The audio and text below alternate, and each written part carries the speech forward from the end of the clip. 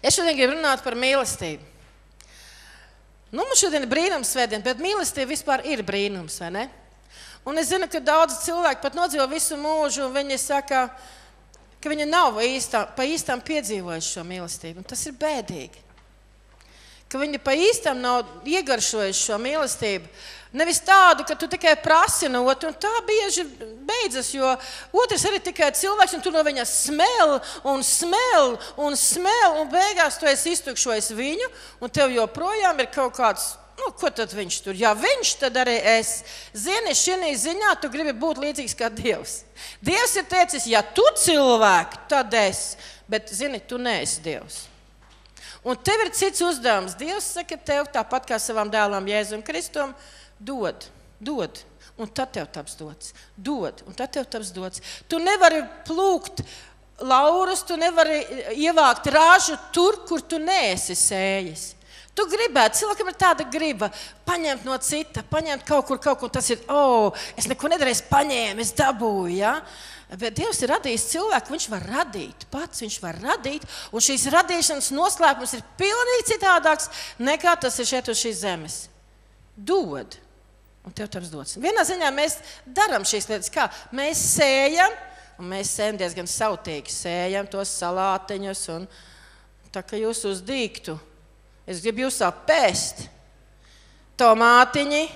Es esmu gājis savā pašā, es atceros pašā tādā pirmsākumā, tikko es atgriezos pie Dieva, tur kaut kā bija vasara, kaut kā tur bija, kad nu, pienāca tā vasara. Es atgriezos rudenī, pēc tam bija pavasars un vasara. Un es zinu, atceros, ka Olga Leģājā, tad mūsu mācītāja sieva, arī mācītāja, kas tagad ir Rīgā jau, un viņa teica, Izmantojiet dieva varu visur. Izmantojiet šo dieva varu un dieva spēku visur. Dievs darbojas visur. Viņa saka, es iegāju savā siltumnīcā, nu, tad viņa vēl, viņai bija vēl siltumnīca. Un viņa saka, un man tur tomāti, mēs kaut kur bijām tur aizbraukuši, tomāti tādi noļekuši. Un viss apkārt, visi saka, kaut kāda slimība tomāti, viņi neaug, viņi tev arī neaugs, un visi tur iznīks, un tu tur neuztraucies. Viņa saka, es dodu, nē, maniem tomātiem būs brīnumi. Viņa gāja siltumnīcā, paņēma laikānu, nosvētīja to laikānu, to ūdeni. Viņa teica, vi, tavariši pomidori, buķi zdrovi. es jums pavēlu ziedināties. Viņa teica, tavariši pomidori, es tev atceros. Ja? Tad, tad Esiet dziedināti, esiet dziedināti, un es jūs aplaistu ar mīlestības uh, sulu, ar ūdeni, kas jums vajadzīgs. Ir. Un jūs tapsiet dziedināti, tāpēc es kungs gribu visu dziedināt. Visu, kas man pieder, viņš visu grib atjaunot. Viņš ir Dievs, kas visu atjauno. Es tam ticu, un es izlieku jums pār jums savu ticību, savu ticības, šo spēcīgo ūdeni, dzīvības ūdeni izlieku. Jums būs augt un nest augļus. Mans Dievs, Kristus, ir auglības Dievs, un jūs nesīsiet augļus. Viņa nesa augļus rudenī. Un bija augļu šiem tomātiem. Sakarā ar šiem tomātiem man ir vispār paša arī pieredze. Tagad man vairs nav siltumnīciņa, bet kad bija, tad ar visām tām dzīves, tām, no tām raizēm un skriešanām un iešanām un draudzēm, konferences un jūs zinat, viss, kas notiek. Un, un es nezinu, es viņus pavasarī iestādīju. Un tur neko daudz viņam, nu, tik cik aplēja. Tur mēs ar vīru pa, pa, pa kārtē kaut kā viņus tur aplējām. Dažreiz viņiem bija tie Dabas stihija kādreiz bija tas sausums, arī uznāca viņiem tur, vai ne? Sakarā ar manu aizņemtību. Bet viņi izturēja. Es viņus, viņus svētu. Arī, nu, jālai arī, principā, bet nu, jāsvēt arī. Jo citiem atbrauca citi pie manis, man vīrmāts atnāk, ciems, ka, kā tev tādu, galvenais tos stādus iedeva viņa man. Mums pilns ar tomātiem, viņiem esot maziņi, ne, nekādi. Viņi tur brauc un ņemās un kaut ko tur dara. Es neko īpaši nedaru. Es viņus svētu, lai nu, cik es varu. Nu, es saku, Dievs, cik es varu. Man cilvēks ir svarīgāk par tomātiem. Es neiešu uz siltumnīcu, man būs jā, kaut kas jādara cilvēkiem. Man šī izvēle ir jau izdarīta. Es nedarīšu to. Es iz, nedarīšu otrādi izvēli. Man tie tomāti aug. Un gurķīši arī izaug pat. Un es pat vēl kādu rīdzinieku pacienāju. Un, un visais brīnos, kā viņi aug. Es slavēju Dievu. Kā jūs esat izauguši? Ko? Neko es jums nedarīšu. Jūs esat izauguši, malacīši. Tas ir brīnums. Tas ir mīlestības brīnums, ko Dievs mums ir dāvājis. Viņš ir dāvājis mums daudz ko, lai mēs dzīvotu, lai mēs būtu laimīgi, lai mēs būtu mierā. Un pats galvenais, ko Viņš mums ir devis, tas ir Viņa gars. Mīlestības gars ir mūsos. Mīlestības gars ir mūsos. Jēzus ir Tad pirmā Jāņa grāmatā ir teikts par to, par to, ka Dievs ir mīlestība. Es gribu to nolasīt. Ja? Dievs ir mīlestība. Kur tas ir teikts? Varbūt Ines izdomā, ka Dievs ir mīlestība. Paņemam pirmo Jāņa vēstuli. Nu, kur man pazuda? Tā, pirmā Jāņa. Kur tad ir Džons? Pirmā Jāņa, ceturtā nodaļa un 8. pāns. Tā. Un te teica, kas nemīl, nepazīst Dievu, jo Dievs ir mīlestība. Tā ir atklājusies Dieva mīlestība mūsu vidū. Nu, tad, tad kā tad viņš saka? Ja? Dievs visu savu vienpiedzimušo dēlu ir sūtījis pasaulē, lai mēs dzīvotu caur viņu lai mēs dzīvotu caur viņu. Šī mīlestība, nevis mēs, nu kāda ir tā mīlestība, viņš tagad tas teksts ir tas, tas definīcija, ja? Šī ir mīlestība. Nevis mēs esam mīlējuši Dievu, bet Viņš ir mīlējis mūsu un sūtījis savu dēlu, izlīgumu par mūsu grēkiem. Mīļotie, ja Dievs mūs tā ir mīlējis, tad mums arī pienākas, pienākas, pienākas, pienākas citam, citu mīlēt. Dievs nekad, Dieva neviens nekad nav redzējis. Ja mēs viens otru mīlam, Dievs paliek mūsos, un viņa mīlestība mūsos ir pilnīga. Un Dieva mīlestība mūsos ir pilnīga. Tagad par šo pilnību. Atveram vēl vienu citu rakstieti, kolosiešiem. Par pilnību. Tad šeit bija ka mīlestība, mīlestība pilnīga. Tad ir, ja? Mūsos viņa parādās pilnīgi. Ja mēs citu mīlam, Nu, dažādi cilvēki domā, kas ir mīlestība, bet tagad mēs par pilnību aizjām uz kolosiešiem. Kolosiešiem, kāda nodaļa tā bija? Pirmā, ko, uh, nē, kolosiešiem, nē, nē, nē, nē, tas ne. Jā, kolosiešiem, bet tur bija kura nodaļa?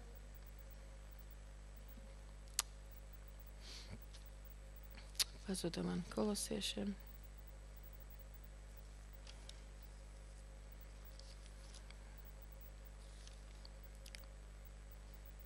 2,9.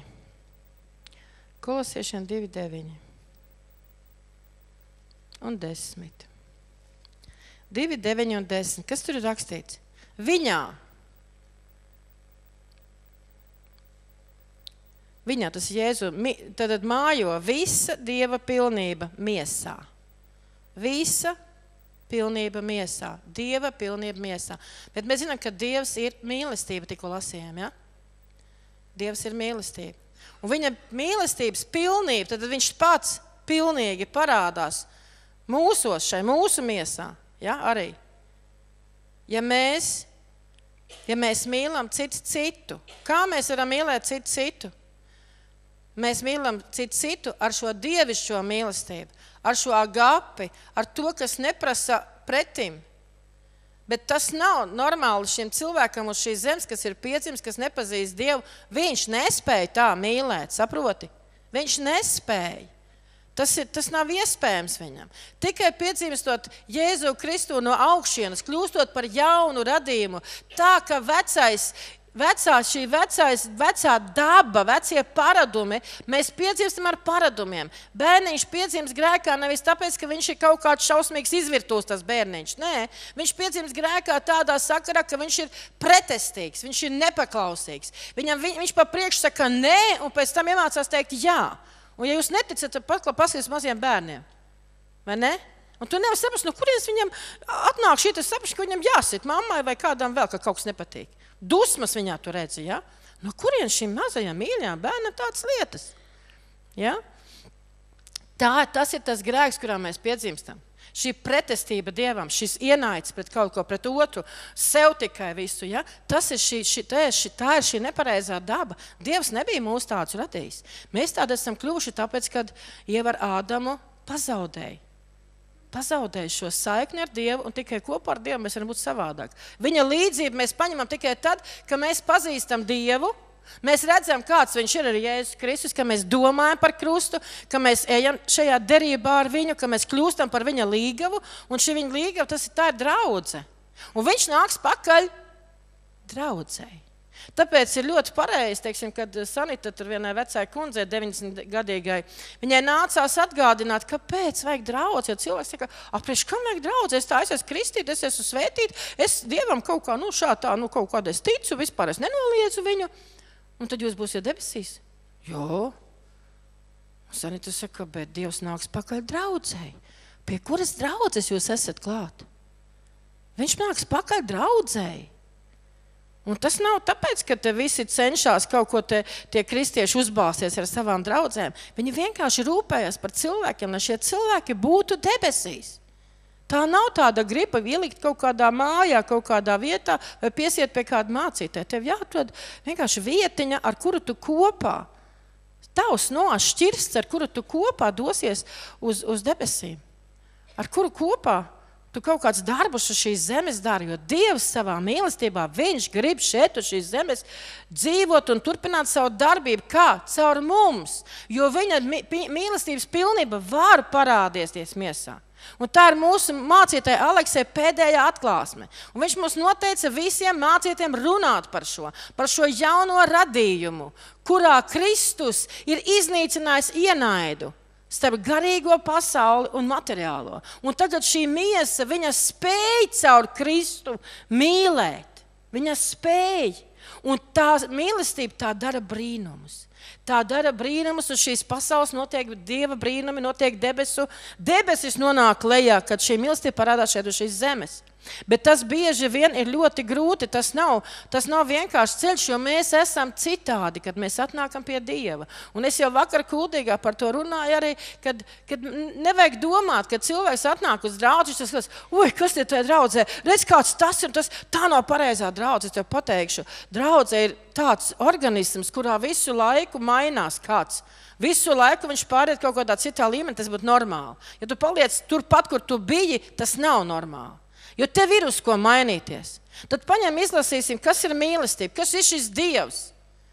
Es esmu Dievs, ir mīlestība. Ja? Bet tā nav tāda mīlestība, kāda tu domā, kāda mīlestība. Mēs atveram vaļā kaut kādu televizoru, kādu kaut kur. Tur ir sirsniņas, bučiņas, apgāzts. Ja? Nu, pirms gultas, pēc gultas, gultā. Nu, tur visādi šitādi ja? varianti. Bet pēc tam pasaka, čau no rīta. Es tevi izmantoju un viss. A, kur ir uzticība šīm attiecībām? Un tas skaistums, citi saka, ah, tur tā, tur, tur vajag visu izmēģināt, vienreiz dzīvi, visu vajag izmēģināt. Kad tu parunāsi ar šo cilvēku tā dziļāk, katrs no mums gaida no otra šo vienīgo uzticību. Viņš gaida no otra. Bet mēs bieži vien nespējam dot, jo mums ir kaut kas atnāk, kaut kas notiek ar mums. Ja? Mēs viļamies vienā, tad es tev parādīšu, tagad. es uztaisīšu citas attiecības. Es tev parādīšu, tagad, ja? ko tu parādīsi. Tu pats, tu pats pēc tam vilsies. Tu pats esi vīlies, un ne visai tu esi priecīgs, ka tu esi to izdarījis. Tā taču ir, vai ne? Jūs ar mani? Ko? Es runāju tikai par sevi. Man ir, paldies Dievam, gadījies šeit dzīvē saglabāt uzticību savam vīram, un es gribu būt uzticīga arī savam kungam. Šī ziņā nu, man vismaz pagaidām vēl nevar pārmest, un es ceru, ka līdz tiem, līdz tiem maniem vecajiem gadiem arī tas nenotiks vēl vairāk. Ja? Un, uh, Tas ir tas, Dievs, kas ir šajā mīlestībā, pats pats galvenais pamats. Ja? Jo tās viss, kas tiek nosaukts, kas ir mīlestība, tas principā ved uz to, lai mēs varētu būt uzticīgi viens otram, nepazaudēt viens otru. Bet tagad izlasīsim, kas ir mīlestība, kas ir šis brīnums. Ko mēs šajā dzīvē gribam sagaidīt un sastapt. Un mēs visi gribam to izbaudīt, ka mūs mīl. Mums pat iekšēji prasība pēc tā ir: mīli mani! Mīli mani tāds, kāds es esmu, bet es gribu pateikt, iemīlēt tādu var, bet mums kopā ir jāmainās. Ja? Mums kopā ir jāmainās. Jo mēs šai pasaulē nemīlam ar to mīlestību, kas spēj noturēt ilgi kopā. Diemžēl viņi nav. Tā ir kaisla bieži vien, kas arī ir vajadzīga šajā pasaulē. Un Dievs arī to ir radījis, lai mēs varētu uzsākt kaut kādas attiecības, lai mums būtu kaut kāda dziļa šai, šai miesai, kaut kāds bauda, būtu kaut kas, tas arī tam ir dots. Bet Bauda mīsīga nav vienīgais, kas ir, kas ir, kas satur kopā divus cilvēkus, pilnīgi svešus cilvēkus. Viņi, kad satiekas kopā, viņiem ir kopīgi jāmainās. Tieši tāpat Kristus satiekās ar draugu, ar to cilvēku, kas ir draudzē, un viņš sāk, un sāk mainīties. Jāsāk mainīties. Ja Mums ir jāsāk ļaut sam Dieva mīlestībai caur Kristu kopā parādīties šeit uz šīs pasaules. Jo Kristus ir teicis mīliet citu citu. Mīliet, cits, kā mīliet, paskatāmies. Tā mīlestība, kas ir dievišķa, par to ir rakstīts korintiešos. Par to tu internetā, diemžēl, neizlasīsi. Un grāmatās kaut kādās citās arī neizlasīsi, kā tikai šajā grāmatā. Kas, ka šis ir pirms spēku avots. Šis ir visa pirmā avots. Un te vajag paskatīties. Paskatīsimies 1. korintiešiem 13. nodaļa. Ja to tev vajadzētu atcerēties, kur ir rakstīts par mīlestību? Un te vajadzētu atcerēties, ka tā ir 1. korintiešiem 13. nodaļa no paša sākuma. Un tur ir teikts, ja es runātu cilvēku un eņģeļu mēlēs, bet man nebūtu mīlestības, es būtu kā dunošs varš un šķindoša kimbala. Tas ir kaut kāds instruments. Ja?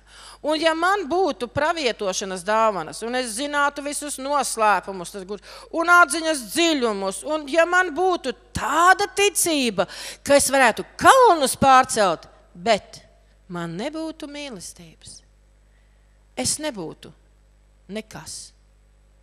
Ja es visu savu mantu izdalītu un visu miesu atdotu, es neiegūtu neko. Mīlestība, tu dod to bez mīlestības. Ja? Mīlestība ir pacietīga. Kāda ir mīlestība? Tā ir kaut kāda darbība pie mums. Tai vajadzētu parādīties pie mums. Mīlestība ir pacietīga. Un tev jādomā, es esmu pacietīgs pret citiem. Mēs ātri testējam, vai citi pret mums ir tādi, ah, mīlestība ir pacietīga. Nezinu, tas vīrs ir pacietīgs pret mani, viņš man mīl vai nē. Bet šis nav teikums, un šie nav vārdi priekš citiem, ka tu drīkst citus tiesāt, iztiesāt, ka tu viņus drīkst izmērīt. Šis ir mērāmais instruments katram vienam pašam.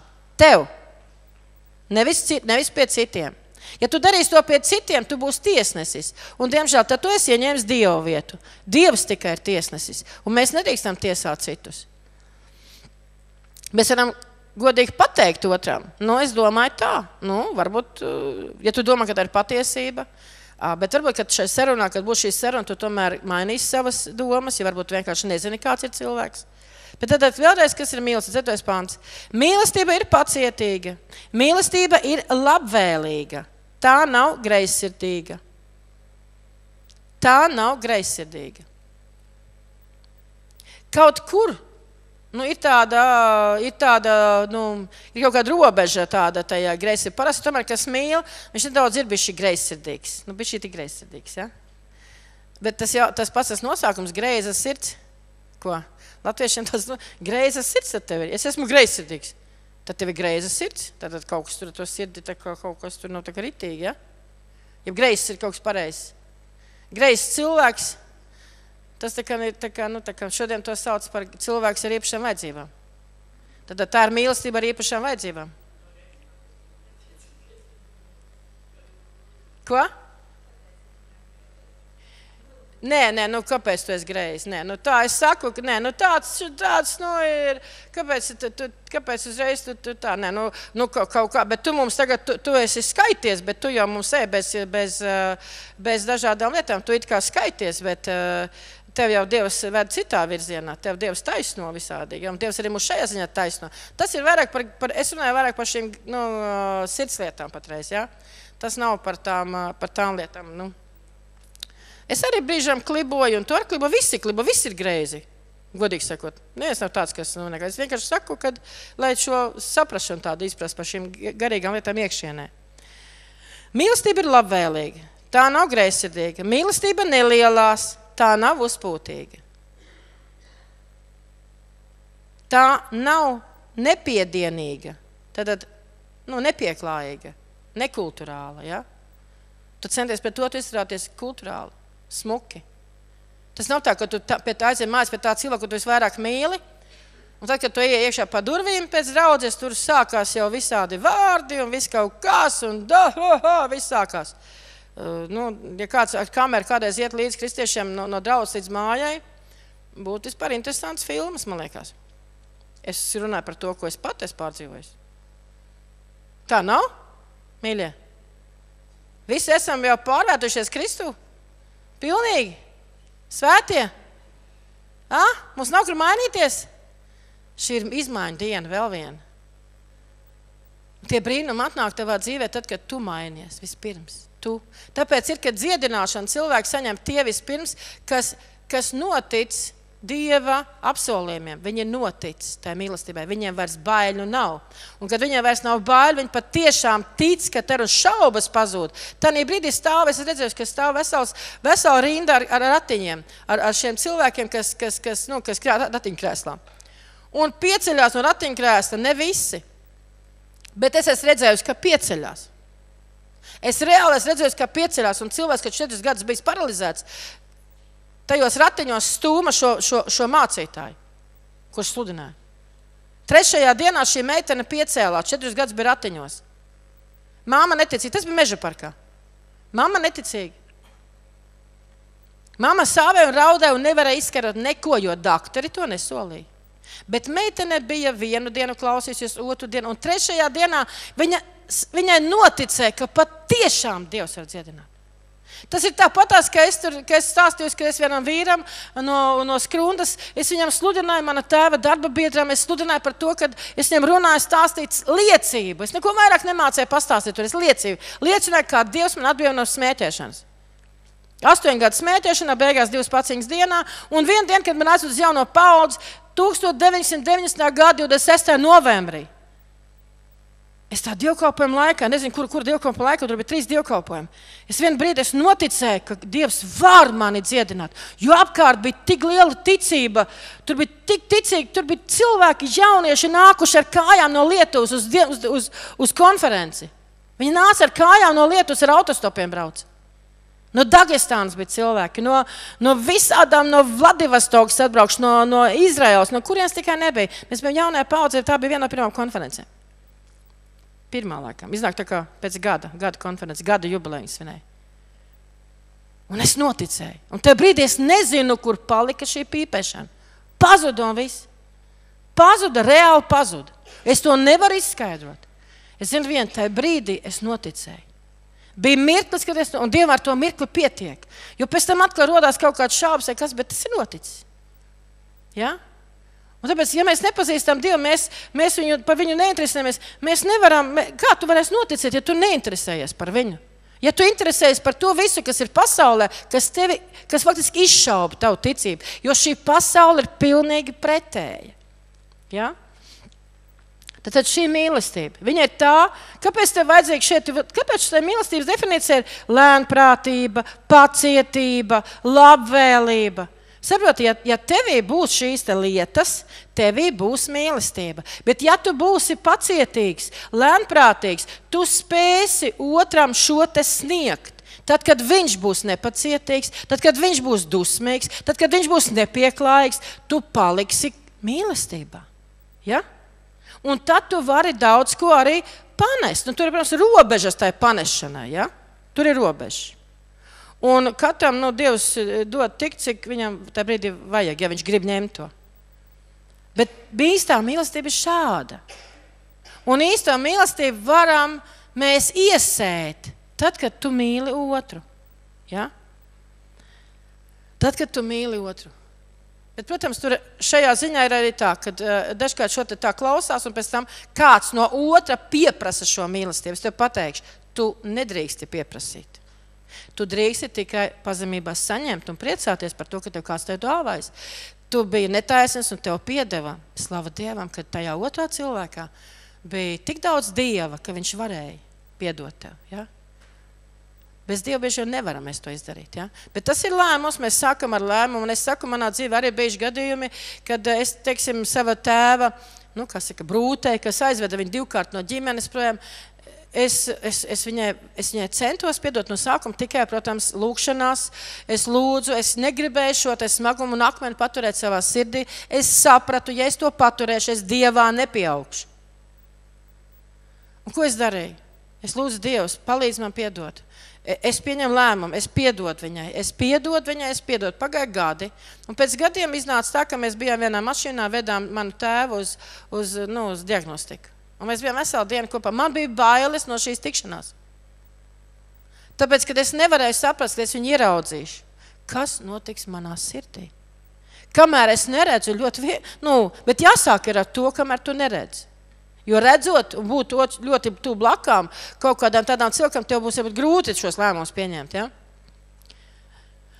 Un beigās izrādījās, ka vispār es neuztveru viņu kā, nu, kā kaut kādu ienaidnieci, ka mēs runājam abas divas par Koplēna dievkalpojumiem, ka viņa arī tā kā sastapusi Dievu. Ja? Nu, tur tā kā, nu, vispār man, es, es izkāpu no mašīnas un es brīnījos. Ja? Faktiski tajā dienā, tajā dienā mans tēvs pieņēma Jēzus Kristus par savu kungu, tajā pašā mašīnā caur manu lūgšanu. Es biju lūgus par viņu septiņus vai sešus gadus. Un viņš visu laiku man teica, tu esi fanātiķe, tu esi fanātiķe, var dievam ticēt, bet ne jau tā kā tu. Tu pārāk jau sāc. Tu pārāk savu laiku daudz velti tam. Tu pārāk ievelc bērnus tur iekšā. Es esmu pateicīga Dievam, ka es šajā ziņā paklausīju debesu tēvam, nevis savam tēvam. Un ka tā mana paklausība debesīm aizved manu tēvu līdz debesīm. Jo tad bija brīdis, kad viņš raudāja mašīnā. Viņš raudāja, viņš zemojas patiešām Dievu priekšā. Viņš zemojas, viņš pieņēma Jēzus no visas savas sirds. Un tad viņš gribēja izzināt Dievu. Tad viņš gāja uz semināru, tad viņš meklēja, tad viņš Bībeli tur lasīja krustām šķērsām. Bet es zinu, ka mans tēvs noteikti bija domāts savā, gan jau Dievs viņu bija radījis kalpošanai. Viņš to nedarīja. Nu, varbūt bija arī tāds padomu laiks, es nezinu. Bet bija laiks, kad viņš varēja tajā ieiet. Arī tad viņš ne, neiegāja tajā. Ja? Bet pats galvenais, ka viņš tomēr iegāja Jēzu Kristu, ka viņš tomēr to saņēma, ja? un ka mēs būsim kopā debesīs, lai kā tur ir bijis. Bet tu to vari tad, kad tu, kad tu pazemībā daudz esi, ka tu vari sēt šo mīlestību, ka tu esi lasījis, ka tu pārdomā par to, ka tu testē sevi, vai tu esi pacietībā, vai tu esi lēnprātībā, ka tu saproti, ka tavu dzīves notikumi nav tāpatās, vien kaut kas notiek. Un nav tā, ka viens uz mani sadusmojās. Tu vienkārši pārdomā vakarā. Dievs, tāds notikums, kāpēc tas notika?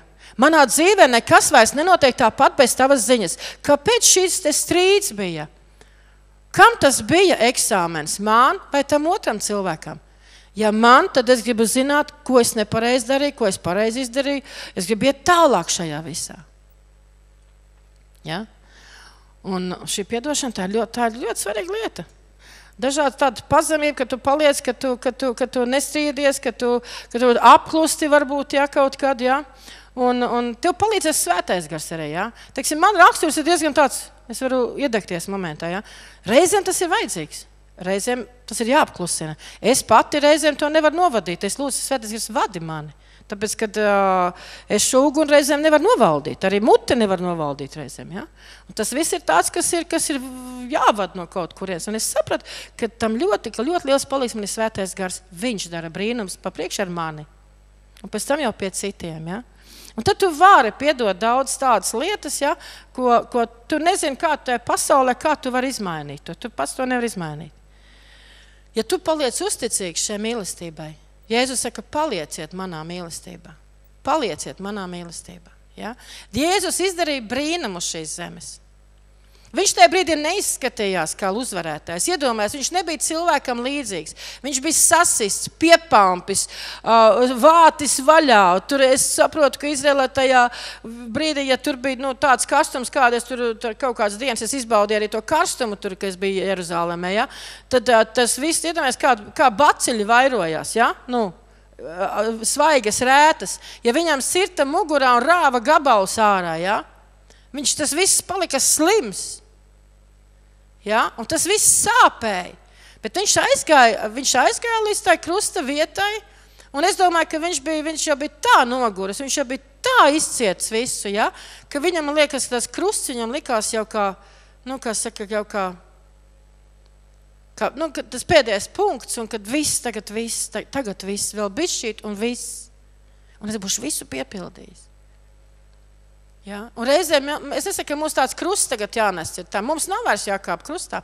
Tā mums vairs jācieš nav. Bet mēs reizēm negribam vienkārši savu dabu mainīt. Un mēs liekam citiem ciest no savas dabas. Kristus saka, es ar mani, esi mana līga, mainies. Mainies ne tāpēc, ka tu mīli to cilvēku, bet tāpēc, ka varbūt to cilvēku neciet, varbūt tas cilvēks tev nepatīk. Un citreiz tas ir ģimene, brālis un māsa.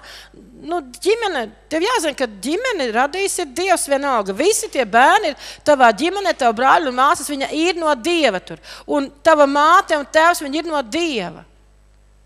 Un te, bieži vien ir, es zinu, cik nu, darboties ar cilvēkiem un kalpojot viņiem. Es zinu, ka ļoti bieži ir kaut kādas atmiņas no bērnības. Tur ir, tur ir uh, māte ar tēvu to, un, un, un tur tā izdarījuši, un šitā, un, un tev ir iesējies kaut kāds tāds, vot tāpēc, ka viņi, tāpēc man slikti iet. Zini, kāpēc slikti iet? Tāpēc, ka tu ne, nevari šo naidu, tu nevari, un šo smagumu tu nekā nevari aizmirst. Un tas akmens tavā dzīvē iet tev līdzi. Un viņš kā tāds sniega, tāds bumbulis, viņš tā, tā kā sniega pika, viņā ar katru gadu lielāks, ir viens smagāks tevī. Tev nāk, tev slimības sākas, tu attiec, tu esi dusmīgs, tu esi ne, ne, neapmierināts ar visu, ja? jo tev ir akmeņi, un tu gribi mest kādos šos akmeņus. Tu gribās viņus mest uz kaut kurien. Ja? Un tu dari sāpes citiem tālāk. Tajā brīdī tu atvieglots, oh, viens akmens aizlidoja, bet citam tagad sāp. Un tā mēs piepildām pasauli ar sāpēm. Mēs uz debesīm tādi aiziet nedrīkstam. Mēs nevaram. Mēs tur iekšā ar saviem akmeņiem netiekam. Mums ir jātiek vēl no akmeņiem šeit. Un mums ir dots laiks. Mēs vakar runājam par seminārā. Ja? Kad glābšanai ir trīs fāzes. Par pirmo fāzi atbild tikai Dievs. Tie, kas ir tuvāk zināt par pestīšanu, šo, šodien palieciet pēc pusdienām. Mēs runāsim par pestīšanu dziļāk par vārdu, nu, rakstvietām un tā. Tu vairāk uzzināsi par to. Tā ir glābšana. No šīs ļaunās dabas mēs glābjamies paši. No šīs, no šīs, te, šīs te tādas dabas, kas nespēja mīlēt, kas smie tikai paņemt. Tā nav tā mīlestība, ko Dievs ir devis.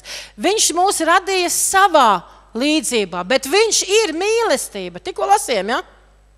Viņš mūs ir radījis, un Kristus ir atnācis atgriezt mūs atpakaļ, ka mēs kļūstam tādi paši, kā Ādams bija radīts. Ādams bija radīts mīlestībai. Šai mīlestībai līdziet, kā mēs te lasījām, par, ka, kad miesā var parādīties. Tas bija ja, par mīlestību, bet vēl atpakaļ tajos kolosiešos. Ja? Kolosiešos tur bija labi rakstīts. Kolosiešiem divi, deviņi. Bet tas ir rakstīts tādā. Kā tur bija teikts? Tā rakstiet, kas ir mūsu mācītājiem, Aleksiem, ir atklāti, vai ne? Par ko mēs tagad apkārt par to visu runājam, un es vēl bieži par to runāšu. Tas ir tas moments, kad šis jaunais radījums Jēzu Kristu rodas mūsos. Cits cilvēks rodas tevī, bet viņš var vai nu pieaugt, vai nu tomēr iznīkt šis mazais stādiņš. Šī atgriešanās pie Dieva, tas ir tas mazais sēkliņa, kas iesēta. Viņai jāaug vēl. Bet kas tas tad viņā mājo visa Dieva pilnība miesā? Tas ir Kristu. Un mēs līdzinamies Kristum pēc tam. Mēs sekojam viņam. Un jums ir dota pilnība viņā, kas ir galva ikvienai valdīšanai un varai. Ja mēs kļūstam līdzīgi Kristum, tad principā viņš dod arī mums varu valdīt, vismaz pār sevi Tas ir noteikti. Iespējams, ka tava, tava valdīšana pār ļaunumu tevī un sējot mīlestību, tu valdīsi ne tikai pār sevi, bet vispār pār situācijām. Un tu būsi par svētību šai zemē, tu būsi gaisma. Tieši tā kā Kristus. Cik mēs vairāk par Kristu zinām? Ziniet, kas ir? Tad, kad tu daudz tu lasi par Kristu un tu domā par krustu, tu domā par to, ko viņš ir izdarījis. Tu sāc vairāk domāt, nevis par to, cik slikti te dzīvot kāda valdībā. Ba, ba, ba, ba, ba. Un tev tur viss akmeņi krājās, akmeņi krājumi, akmeņi krājumi. Kaimiņš slikts, un tēvs slikts, un māte slikta, un brālis slikts, un māsa slikta. Un, un tur, tur, tur kaut kāds vēl tur cilvēks darbā, tas ir vēl sliktāks, un viss ir slikti. Un tu tas labais kurnētājs. Pilns ar akmeņiem, un gatavojies, kuru varētu tagad izmētāt tos akmeņus. Bet tu vari valdīt par šo situāciju. Noliec savus akmeņus. Jēzus novilks strīpu. Nenosot to sievieti, kas tur bija nomētājama ar akmeņiem. Nevajag atdot kristumiņu. Atdot kristumiņu.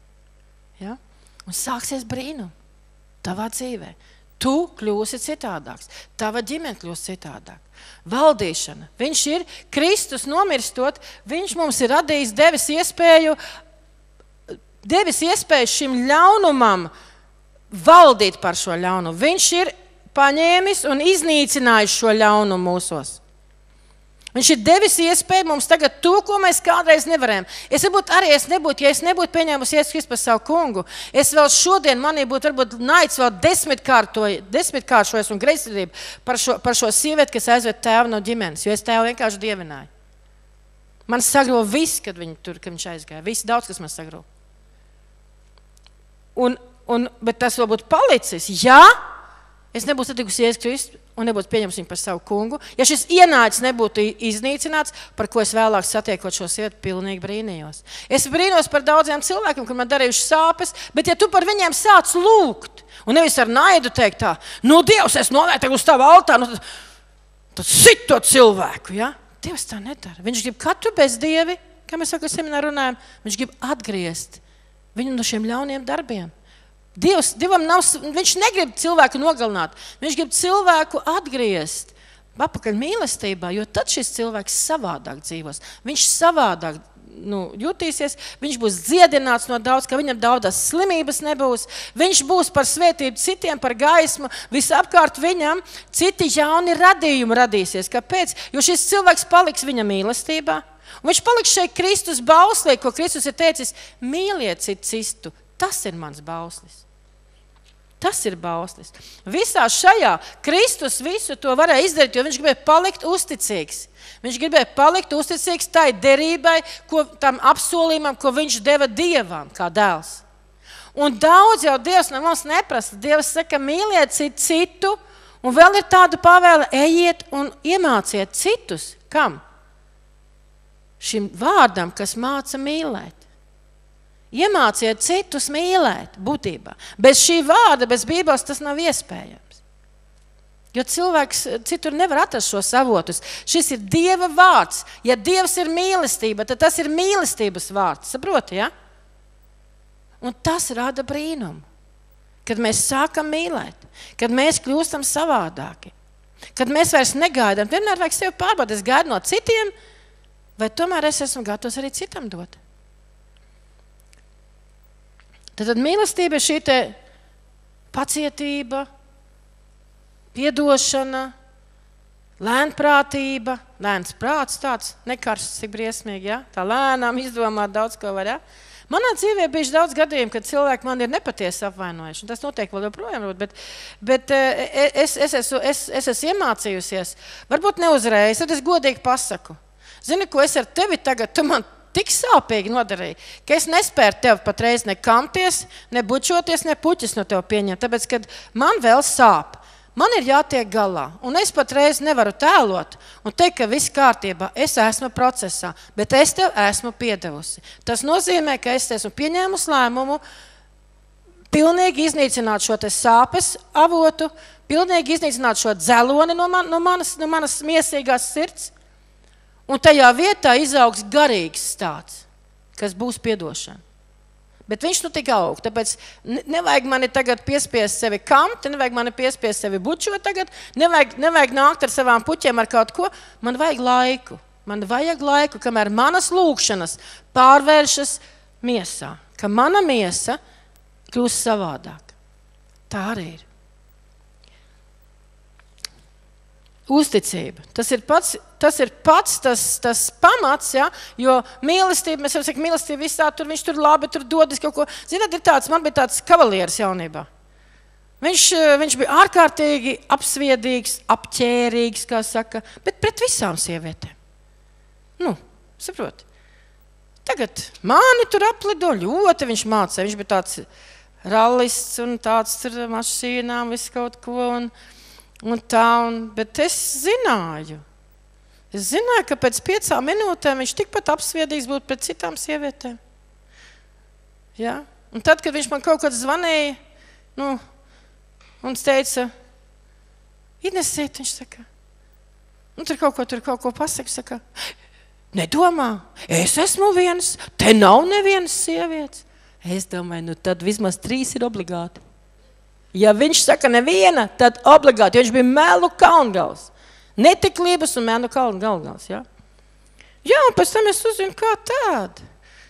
Vai tur avārija bija uzstājusies, kaut kur vispār tur nu, viss jau atklājās. Ja pēc tam. Paldies Dievam, ka man Dievs no, nosargā no šādiem cilvēkiem beig beigās. Kaut kā, laikam, man vecās mācas lūkšanas bija darbojušās. Viņi man bija veltījusi Dievam. Un arī visas tās jaunības kaut kādas lietas tur, ja, viņas man tomēr noturēja tādā pareizā līmenī. Un es nekur neiegāju pārāk dziļi iekšā kaut kādās lietās, lai gan es biju uz robežas. Tad es vēl vakar atcerējos, nezinu, kāpēc atcerējos savu veco mātu un atcerējos, atceros, viņai bija glezna. Viņai netālu no gultas, viņas bija glezna. Padomu laikos tādas gleznas īpaši rādīt nevarēja. Viņai viņa bija tādā gultas vietā, skāpja. Tā kā, nu, īpaši tādi cilvēki, kas tur neiegāja, tajā vietā viņi neredzēja to gleznu.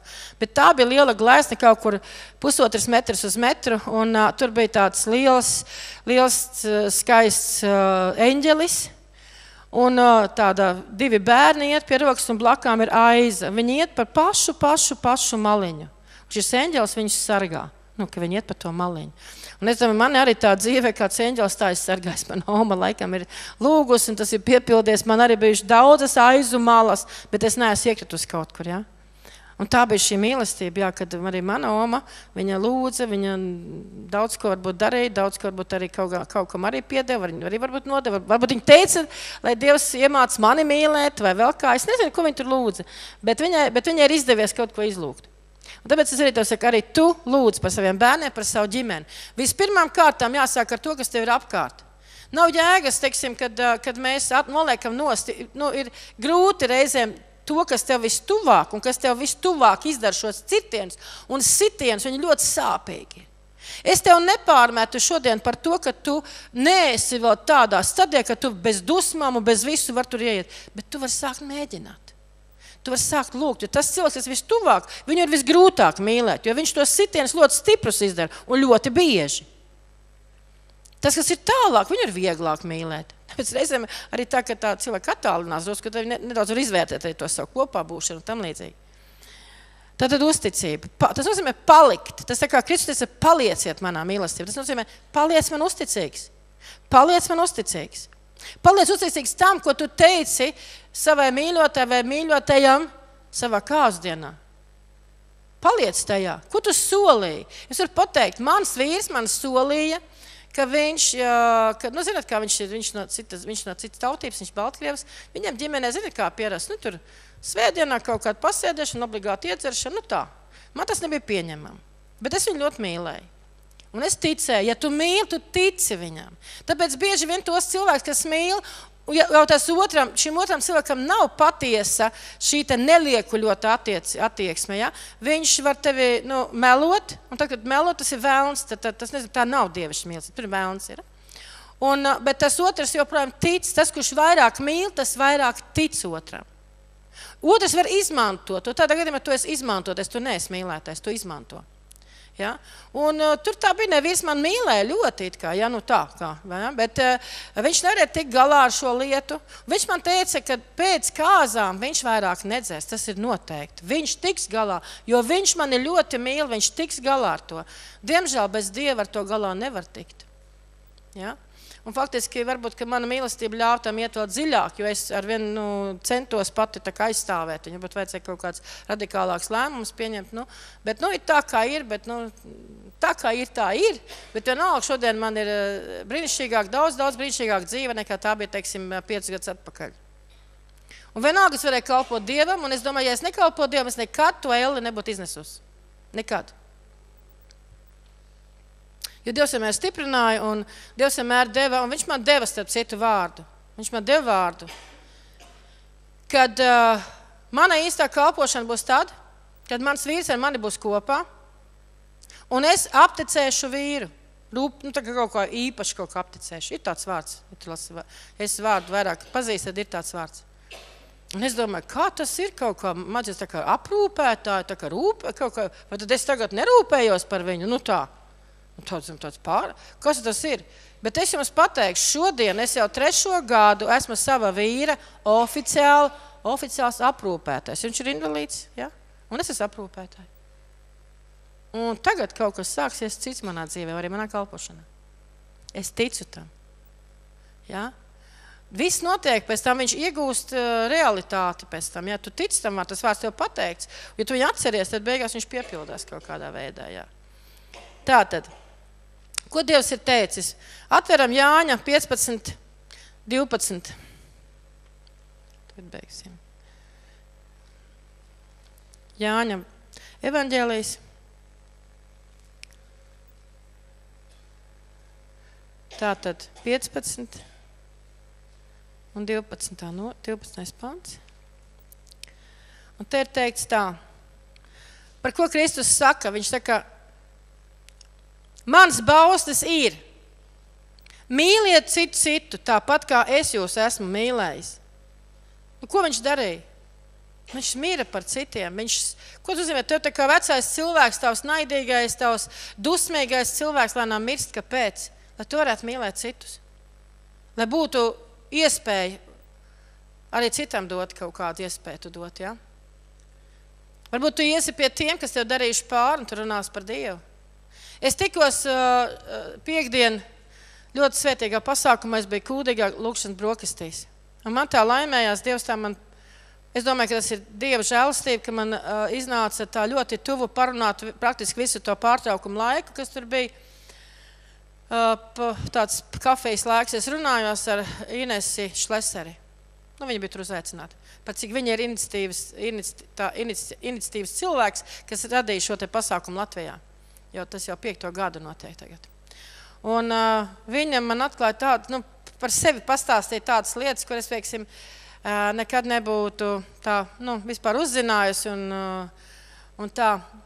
Pirmām, viņa teica tā, viņa saka, Dievs man ļoti daudz runā. Un reizēm es nesaprotu, ka viņš man runā.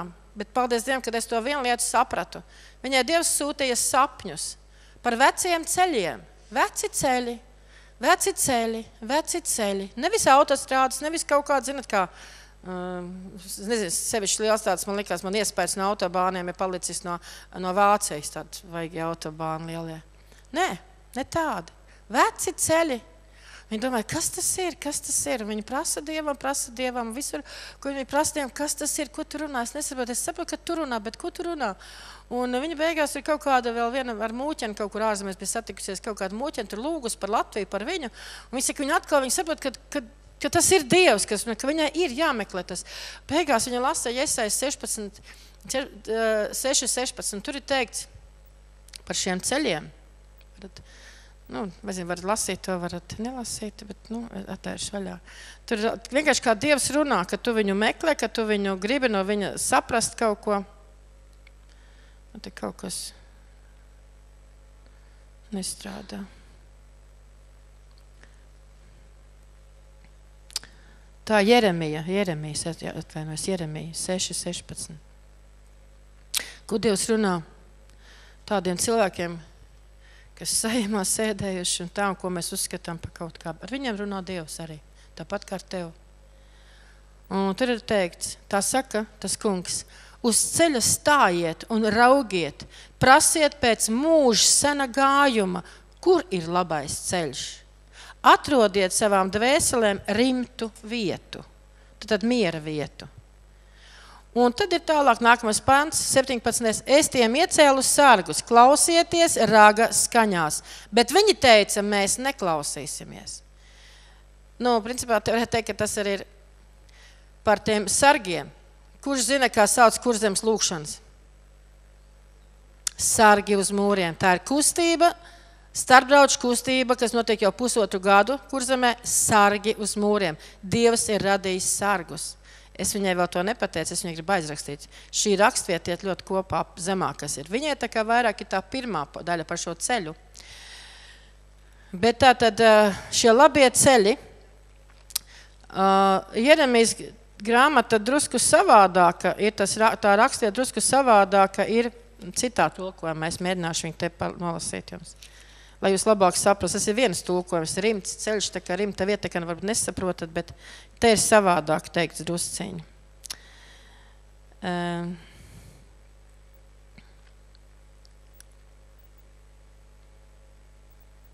Tā, tā saka tas kungs, uzlūkojiet dzīves gaitas ceļus un izpētiet, kurš ir senlaikos, izpētiet, kurš ir senlaikos bijis tas labais svētības un laimes ceļš, tad staigājiet pa to un jūs atradīsiet mieru savai dvēselē. Bet tie atbildēja, mēs negribam pa to staigāt. Ja?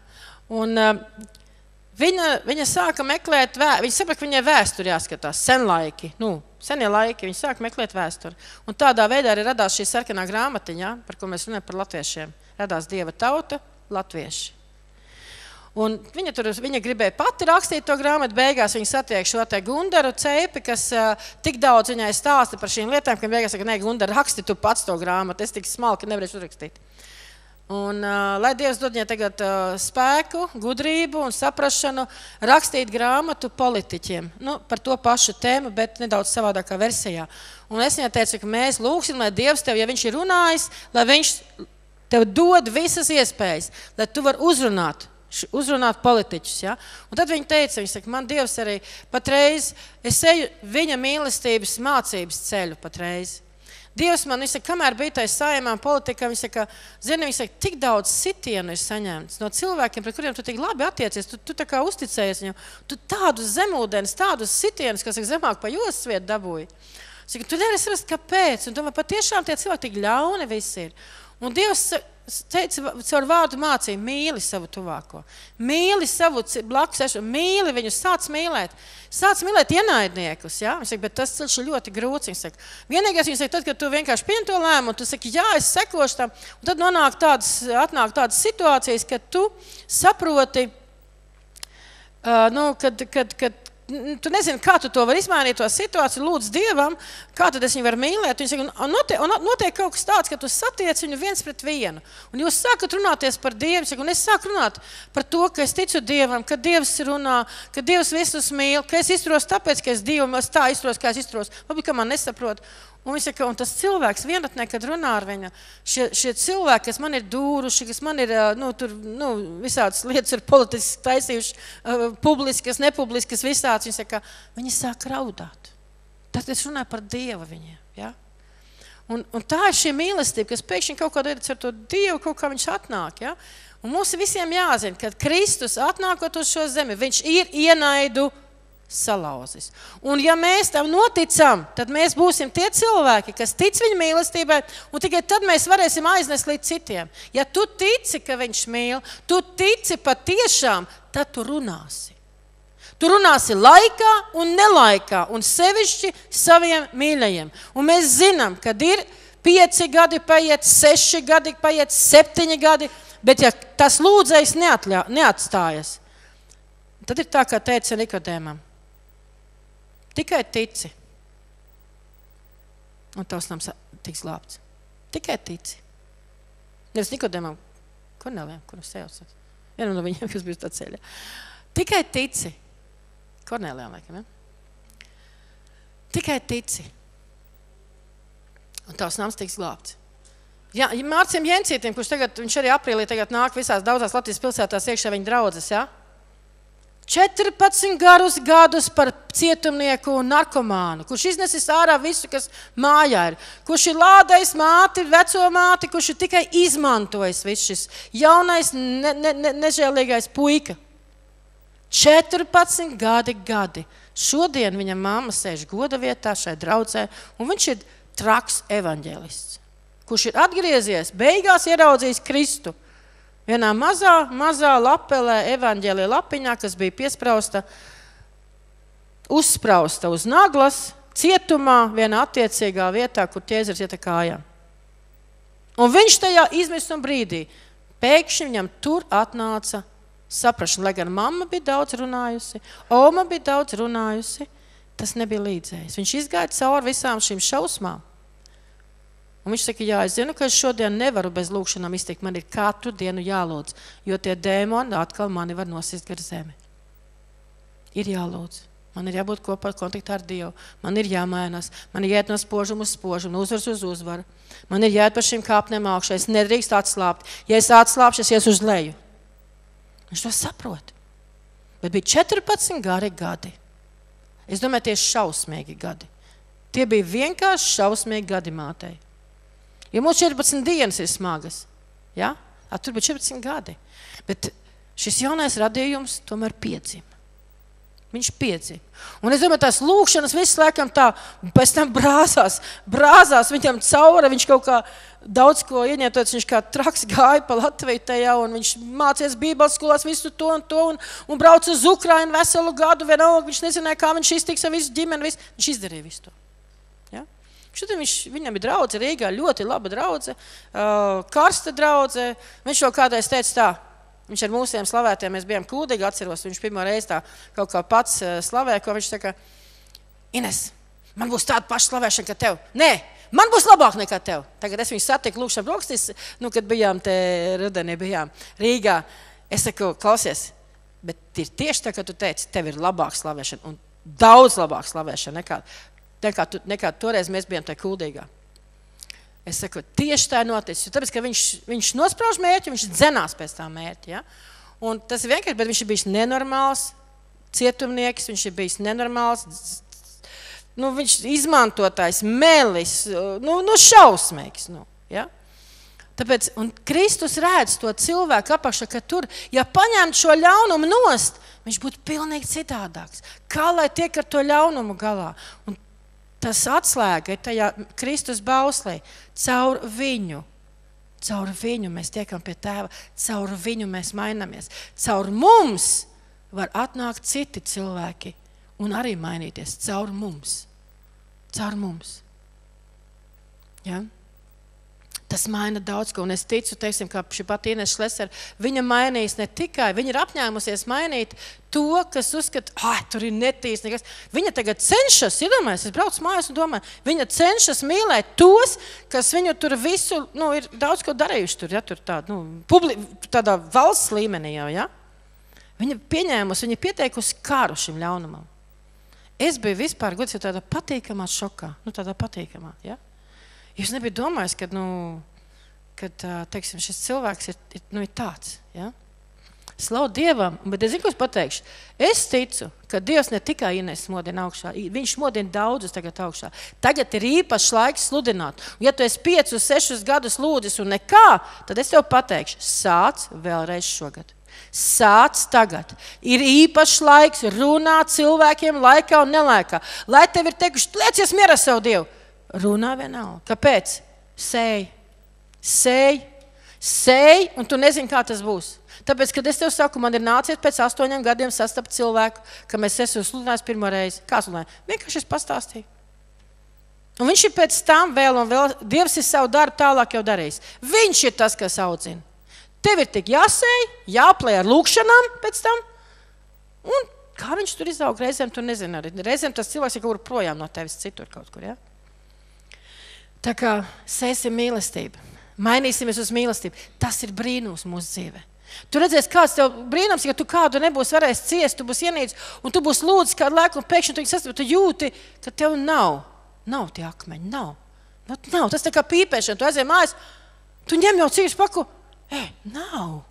Nu, nav tas sūklis. Nav. Ja? Bet nu, es gribu teikt, ne visiem tādā veidā tas brīnums notiek, tā kā man bija. Citiem tas notiek drusku savādāk. Ja? Bet tas, ka pīpēšana un dzēšana var aiziet, vienkārši aiziet tāpat kā atnākus. Vienkārši neņem, nedod vēl ne mazo pirkstiņu vairāk. Vienkārši pasakot, ka vēlams melo, ka es nevaru. Tāpēc, ka Kristus ir šo nevarēšanu jau izdzēsis. Viņš ir devis man spēku nedarīt to, kas man pašam dara ļaunumu nebojāt savu dzīvi šīm lietām, jo tas sabendē citus. Katrs dūmu vilciens nebojā tikai tevi. Visus apkārtējos, visu pasauli tas sagādā, šie dūmi, kas izdalās. Godīgi sakot. Un tie dūmi faktiski ir, ir, viņi ir indīgāki citiem nekā tev. Tad iedomājieties, ka tu esi indes avots. Tad sāc tā domāt, ja? nenosod sevi. Bet nosād, tā, nu, saprot, tas, ka tev loģiskā domāšana ieslēgsies pie, pie tavas dvēseles, tava dvēsele cieši saistīta ar tavu domāšanu. Tā ir dvēseles sastāvdaļa. Tāpēc viņa ir jāpieaudzina Kristu. Un ja tu kādreiz savā dzīvē saki, ko tad es jau zinu, ko es tur iešu, ko es jau zinu. Tu esi paaugstinājies. Un, ja tu esi paaugstinājies pret Dieva vārdu, zini, Dieva vārds saka, pēc paaugstināšanās un pēc lepnuma nāk krišana un tu kritīsi. Un tu nevarēsi, tu gribi piecelties kaut kā nīgas, būtams visādi aprunāt kaut ko. Tu nevarēsi. Tu atver vaļā durvis vēlnam. Aizver ciet durvis. Kā tu aizvers? Tev pašam jāizver. Tev pašam šis durvis jāizver, un tu vari to. Tāpēc, ka tagad tev ir cits spēks. Tu esi piedzimis no augšas, tu esi Jēzu Kristu, un Viņš dod tev spēku. Tas gars, kas ir tevī, ir tas pats, kas piecēla Jēzu no miroņiem. Ja Viņš tika piecelts no miroņiem, tad arī tevi piecels no jebkādas bedres. Panāc šurpu tagad. Es runāju par uzticību, es runāju par mīlestību, un es teicu, ka mīlestība ir pats, mīlestība pats galvenais ir uzticība. Tam, tam attiecībām, sākuma attiecībām. Tu esi piedzimis Jēzu Kristu. Tu esi baudījis viņa mīlestību, tu esi pieņēmis to viņa upuru, tu esi pieņēmis to, ka viņš ir miris par tevi, ka tu šodien vari kļūt citādāks, ka tu vari uzzināt dievišķus noslēpumus, saprast un dzīvot pēc tiem. Bet tur visur apakšā ir vēl viena lieta. Derībā ir divas lietas. Jaunā derība ir derība, tas ir līgums. Tu viņu esi pieņēmis. Un no to dieva pusi cilvēks bieži saka, kur tas dievs ir? Kur tas dievs ir? Dievs ir nemainīgs nemainīgs. Nemainīgs. Tāpēc atceries uz visiem mūžu laikiem. Tu nevari vilties dievā, un tie ir vēlna meli, ja tev tāda lieta skan galvā. Dievā nevar vilties, jo viņš ir nemainīgs. Mainīgs esi tu. Tavas šaubas atnāk no vēlna, visādas lietas. Derībai ir divas puses - es un viņš. Es un viņš. Un viņš no mums daudz neprasa. Viņš saka, paliec manā mīlestībā, paliec manā bauslī, mīliet citu. citu. Mīliet citu, citu, tas ir balss. Un, ja mīlēt, tas nozīmē, ka tu, ka tu to, šo mīlestību tu dalīsi. Kas ir mīlestība? Mīlestība ir tavs dievs. Ja tu pieies klāt cilvēkam un teiksi, Dievs tev mīl, tu zini, Dievs tev mīl. Dažkārt tikai šie pāris vārdi var cilvēkā pilnīgi kaut ko, pilnīgi kaut ko salauzt un, un kaut ko atraisīt. Mazi vārdi. Es došu Katē tagad vārdu. Viņa šodien runāja, naču, šodien, viņa šodien runāja ar uh, bērniem kādu tematu, un es gribētu, lai viņi pastāst par šo tematu arī jums, lai mēs zinām, par ko bērni mācās. Viņi mācās tad par laulību, un tā ir derība. Un tagad Kate pastāstīs. Mēs vismaz mēģinājām kaut ko iemācīties, ne tikai šo burtu, arī šo vārdu, lai tas viņiem nav svešs. Pēc tam, tā, kad uh, viņi paaugsini, paaugsies. Un, no, tā kā es, mana uztvere ir vizuāla, tāpēc es arī bērniem mēģinu kaut kā vizuāli parādīt to ziņu, ko es viņiem gribētu nodot. Uh, Un viņi tomēr, lai arī kādam liekas, viņi ir maziņi, maziņi un viņi neko nesaprot. Tomēr, tad, kad viņiem ir jāatbild uz jautājumiem, tomēr viņi beig, beigās kaut ko saprot gan un atbildēt arī var. Viņiem, piemēram, tas mazais zīmējums apakšā meitenīte ar puisīti, viņiem tā ir asociācija, ka tā ir līgava, ka viņa ir skaista. Viņa pat var atbildēt, ka, kā viņa izskatās, ka viņa ir tīra, ka viņa ir balta kleita. Un Tātad šajā attēlā tā doma bija tāda, ka tāpatās tā kā kad nu, laulību ceremonijā, ka vīrs ar dod šo gradzenu sievai, un, viņa, un sieva uh, vīram viņa apmainās, ka viņa ne tikai vienkārši iedod gradzenu, arī bērni zina, ka tāda lieta notiek, bet viņi īsti nezina, kas tas ir.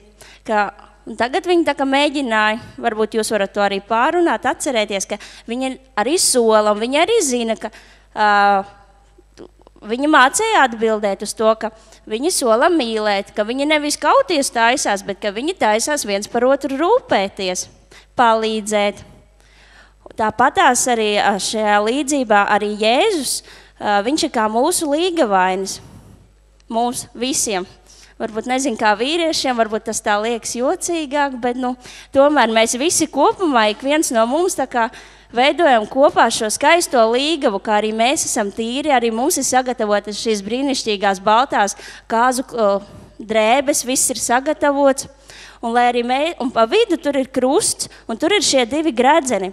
Tāpat tā kā, pieņemsim, kaut kur tālumā ir aizbraucis vīrs vai sieva, viņi var apskatīties uz šiem gredzeniem un atcerēties, ko viņi ir solījuši tajā brīdī, kad viņi ir apmainījušies ar šiem gredzeniem.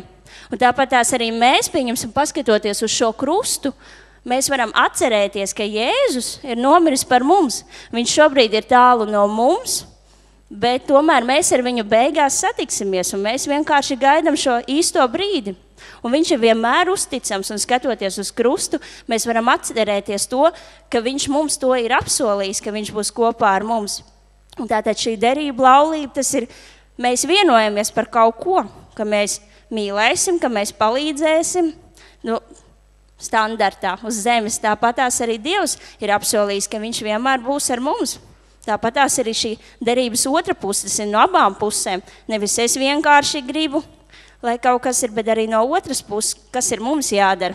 Un mēs kopā tātad esam šī līgava, nevis tikai viens kaut kur mājās, bet kopā, kad mēs esam šajā vietā, tad mēs esam šī brīnišķīgā līgava, kas papildina viens otru.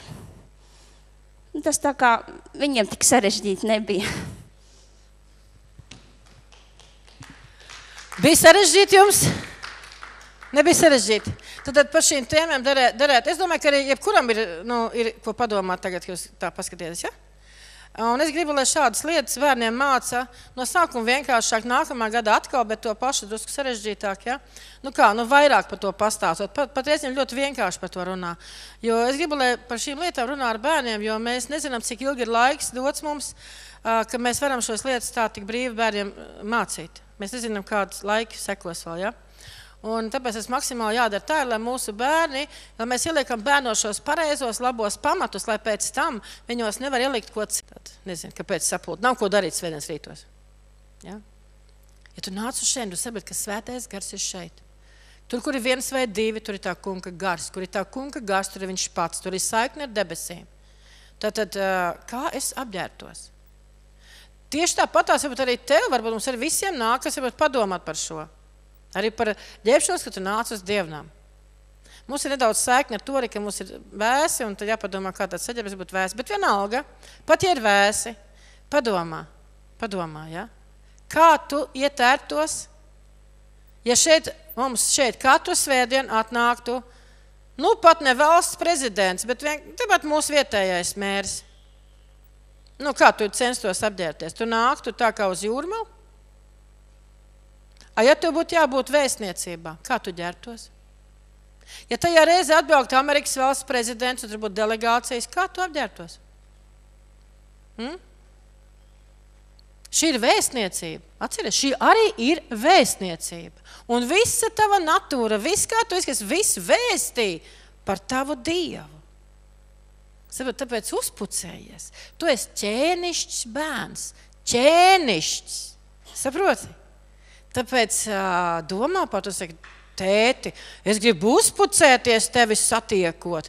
Nu, dod man kaut kādas jaunas drēbes, varbūt, vai kaut ko, vai iemāci man kaut, kāds, kaut kādā veidā kaut ko papildināt savā apģērbā, vai kaut kā mainīt. Kādu tu mani gribētu redzēt?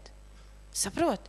Un tu redzēsi, ka arī šajā ziņā tavā dzīvē atnāks dažādas izmaiņas. Arī tas būs brīnums. Tas būs arī mīlestības solis. Jūs teiksiet, tēt, es gribu, es tevi ļoti mīlu, es tevi gribu iepriecināt, es gribu uzpucēties. Es gribu tikties ar tevi. Mēs ne tik bieži tiekamies ar šo Dievu, saproti? Nemaz tik bieži tas nav, vai ne? Dievs tev mīl visādu, bet tu vari pagodināt viņu ar to, kā tu apģērbies, kā tu parādi, cik augstu tu vērtē šo tikšanos, ka priekš tevis tie ir svētki. Tikties ar savu tēti, tikties ar savu brāli Jēzu Kristu, ar savu draugu. Tikties. Un šis Dievs dzīvo mūsos visos. Zināt, šie, šīs, šīs, šīs te, nu, šie te svētdienas rīti kļūst ļoti, ļoti tādi īpaši, ja tu tā sāks domāt. Saprot? Un tavi bērni redzēs, nē, mums jāsapucies, vakarā te saliekts rēbes, nē, mums obligāti, nē, tu jāuzpucies, mēs ejam vidus. Un tu varēsi stāstīt bērnam un citiem, kāpēc tu pucies. Tu ej tikties ar Dievu, kas ir radījis šo zemi. Un tu vari iet pa ceļam un stāstīt bērnam, paskatieties, cik skaista saule, paskatieties, cik Dievs skaistu izradījis. A, kā puķis, paskatieties, cik skaista šī puķīte. Paskatieties, kā šī viena putneņa, to visu ir radījis Dievs. Tu iedomājies, cik viņš ir varens un cik viņš, kāds skaistums viņā ir. Un kā viņš mums visu to dāvājis ir, vai ne? Tas viss ir evaņģēlijs. Visapkārt mums. Tā ir mīlestība, ko Dievs mums ir devis.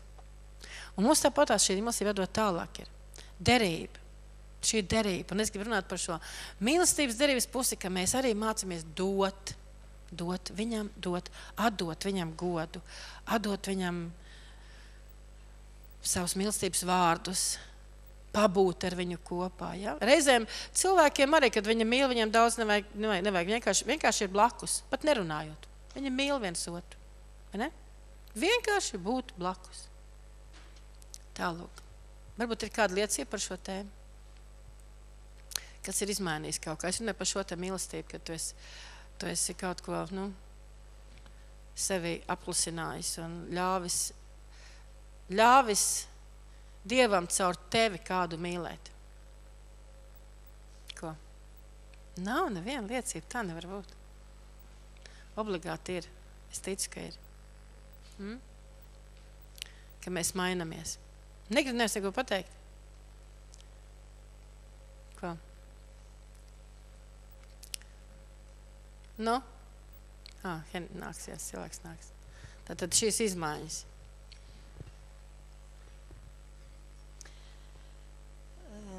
izmaiņas nāk pa solim pa solim. Meklēju šodien savu bībeli, jo es ļoti gribēju braukt uz Ventspilu šodien, kaut gan vakar ļoti slikti jutos. Nu, tad es sēdēju virtuvē pie galda brokastīs un lūdzu Dievam, ja man ir jābrauc, tad lai es tieku. Un es arī šodien tiku, bet to bībeli es meklēju pēdējā brīdī, un es viņu atradu. Uh, kur es viņu atradu? Mana meita bija lasījusi viņu vakar vakarā un bija paslēpusi. Un tad es prasīju, kur tam māma bībā kāds ir paņēmis. Un viņa teica, nu, mēs lasīju vakar.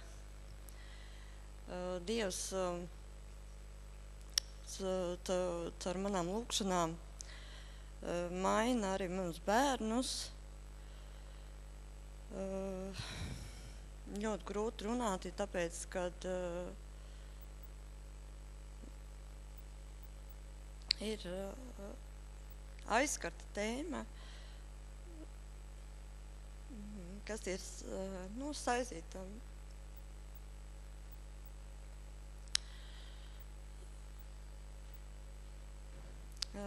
Kad māte ved savu meitu uz semināriem par mūžīgo glābšanu, pestīšanu.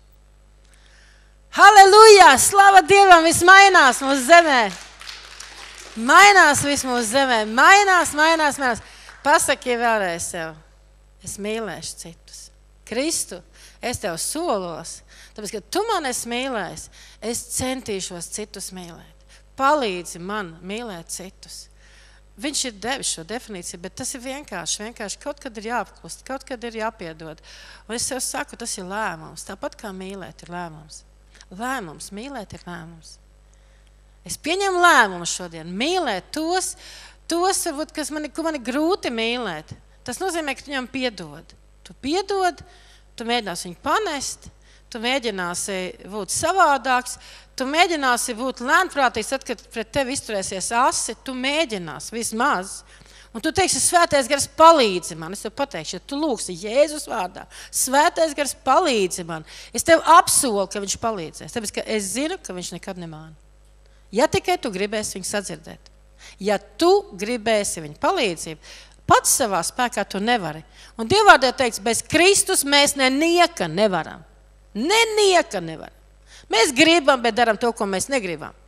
Mēs gribam, mums, mēs gribam dzīvot citādāk, mēs darām pilnīgi otrādi. Un Dievā ir teikts, ja tu dari nevis to, ko tu gribi, bet to, ko tu negribi, un to, ko tu gribi, tu nevari izdarīt, tad tu esi vēlna varā.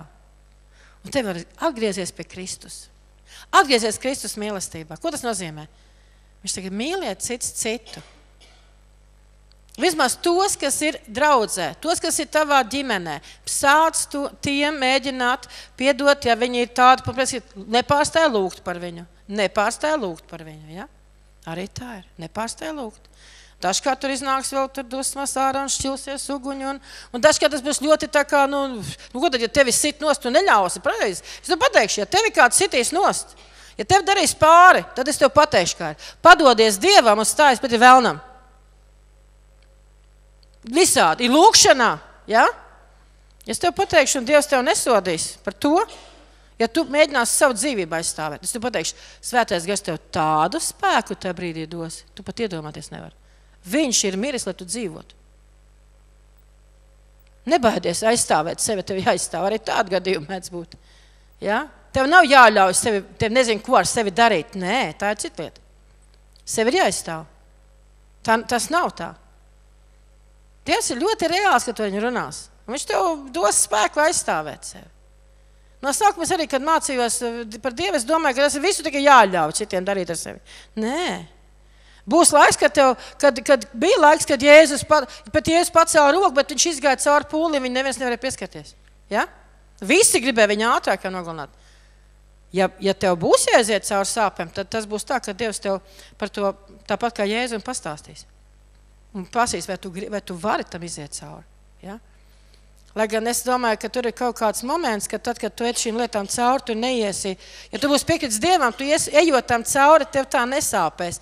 Es kāpēc par to tā domāju? Tāpēc, kad, uh, Kad es jau te kaut kādā stāstīju, ka man bija šis lēmums, kad man, kad man vīram teica, kad vīri teica, ka viņš mirs, un kad es lūdzu viņu konferencē, un ka man svētais gars eh, nevis tur kaut kā, es, es biju domājis kaut ko citu, ka man es kaut ko sadzirdēšu, un te, tajā slavas laikā tur gāja slavēšana ļoti ilgi, un tajā brīdī, bet es runājos ar Dievu, un tajā brīdī es pilnīgi dzirdu, es saprotu, ka man svētais prasa, es viņu varētu paņemt tagad projām, un tev būtu mierīga dzīve.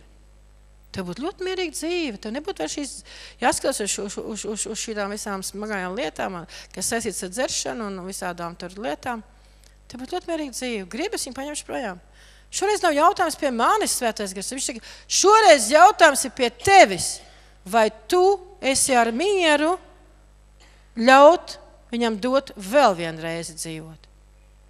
Un es biju apstulbusi. Tas bija ļoti liels, smags lēmums, man saprotat. Es varu runāt par Dieva mīlestību, mīlestību. Ja? Tagad, protams, kad es, kad es iedomājos, kāda bija tā dzīve pēdējos gados, tad bija, tas bija šausmas. Es domāju, man bija reize, kad es teicu, ka es nezinu, kā lai to apturu. Es nesaprotu, kā lai, ko lai dara. Es kliedzu uz Dievu. Un man daudz kristiešu teica, kāpēc tu nešķiries no viņa. Bet man Dievs neteica. Dievs nerunā, cilvēki runā, bet Dievs nerunā. Es gaidīju, ka Dievs runās. Ja viņš būtu pateicis, es biju gatavs, ka Dievs ir baiļu nav. Ja tavā mīlestībā vēl ir bailes, tad tā nav pilnīga mīlestība. Un Dievs grib darboties caur mums uz šīs zemes joprojām, tāpat kā Kristus teica, ka Dievs grib caur viņu darboties uz šīs zemes. Tāpat Dievs grib darboties caur tevi un mani. Kādā veidā? Piepildot mīlestību šīs zemes. Amen. Pasaka, es esmu mīlestības cilvēks. Man ir mīlestības dievs. Es gribu palikt viņā, un viņš lai paliek manī. Viņš var palikt manī tikai tad, kad es to daru. Halleluja, slavu tev, kungs. Un es esmu apņēmies to darīt, kungs, kopā ar tevi.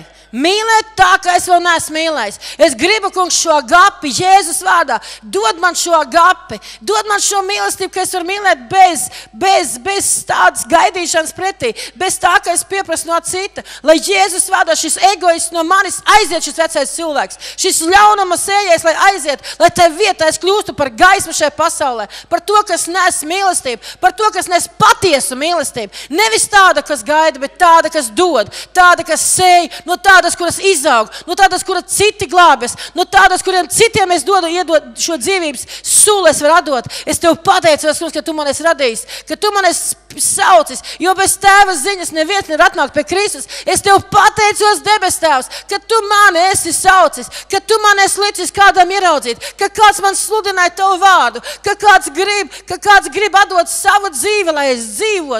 Es, kungs, tev pateicos, un arī es gribu būt šis cilvēks, kas dod, nevis kas ņem, kas beidz melot un kas sāk runāt patiesību. Tāds, kurš kļūst drosmīgs, es tev pateicos par to, ka es varu, ka es varu izmainīties, un apkārt visa pasaule var izmainīties. Es tev pateicos, Tēvs, es tev pateicos, es tev slavēju šodien Jēzus vārdā, un es pieņemu jaunu lēmumu palikt viņa mīlestībā, palikt viņa mīlestībā, palikt viņa baustī. Tas nozīmē, ka es, es mīlēšu citu, es mīlēšu tos, ko man Dievs ir devis. Pirmkārt, tos, ko Dievs man ir devis, jo tos Viņš ir devis, un tos es spēju mīlēt. Nav tā, ka es viņus nespēju. Es spēju mīlēt tos Jēzus vārdā. Es spēju pieņemt šos pareizos lēmumus. Es spēju izlaist tavu mīlestību caur sevi. Jēzus vārdā, kungs, dod man šo lēnprātību, dod man šo pacietību, dod man šo spēju, kungs, piedot.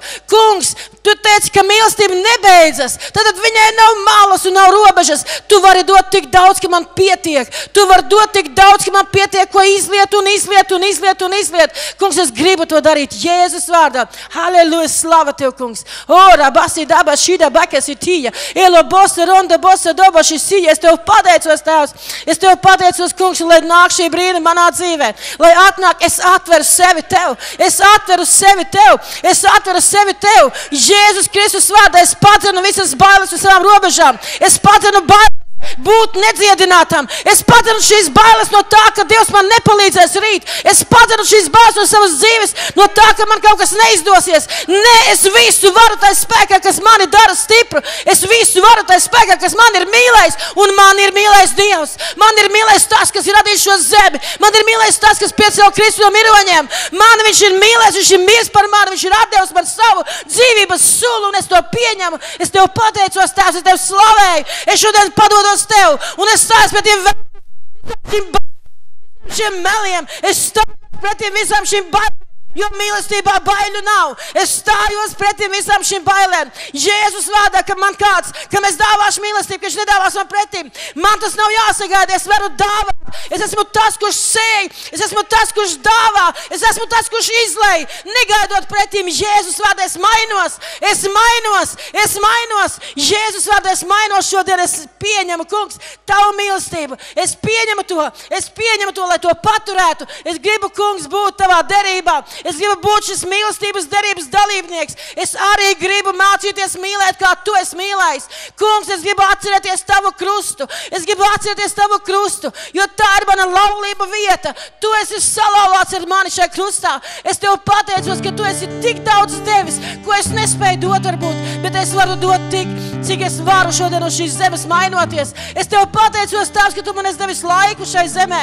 Es tev pateicos, kungs, ka tu esi devis laiku, lai man Pārtop, kungs, ka es varu būt debesīs, kungs, līdzīgs tev, ka es varu tuvoties tavam tronim un nedarīt nevienam sāpes. Kungs, es tev pateicos, es tev slavēju, ka tu mani gatavo tai vietai, kur sāpju nav, kur asaru nav, kur aprunāšanas nav, kur nosodīšanas nav, kur klaču nav, kur nav, nav dažādas bēdas, ko cilvēks cilvēkam liek, kur nav greizsirdības, kur nav šīs nepacietības, kur nav nepatikas. Kungs, kur ir labpatika, kur ir lēnprātība, es tev pateicos, es tev pateicos pateicos, Dievs, ka Tu mūs gatavo šai vietai. Kungs, es ļaujos šeit uz šīs zemes, pieņemt šos trakos lēmumus, kas šai pasaulē pilnīgi nav pieņemami. Jēzus vārdā, Tēvs, es tuvojos Tev šodien, un es stājos pret Tiem vēlnam, visiem šiem meliem, visām šīm bailēm. Jēzus vārdā, Kungs, es vēlos ieņemt sevī ticību visam tam, ko Tu esi teicis, lai ticība šīs zemes pārveido šo pasauli ticība nones lejā debesis uz šo zemi. Es, kungs, ticu, es ticu, es gribu zināt vairāk tavu vārdu. Es gribu vairāk iepazīt tevi, lai tavs atspūgs ir manī, lai tavs atspūgs ir manī. Kungs, lai es varu uzzīmēt sevi, savā sirdī, savā iekšienē, savā domās, es varu uzzīmēt tevi. Kungs, lai tavs attēls ir manī.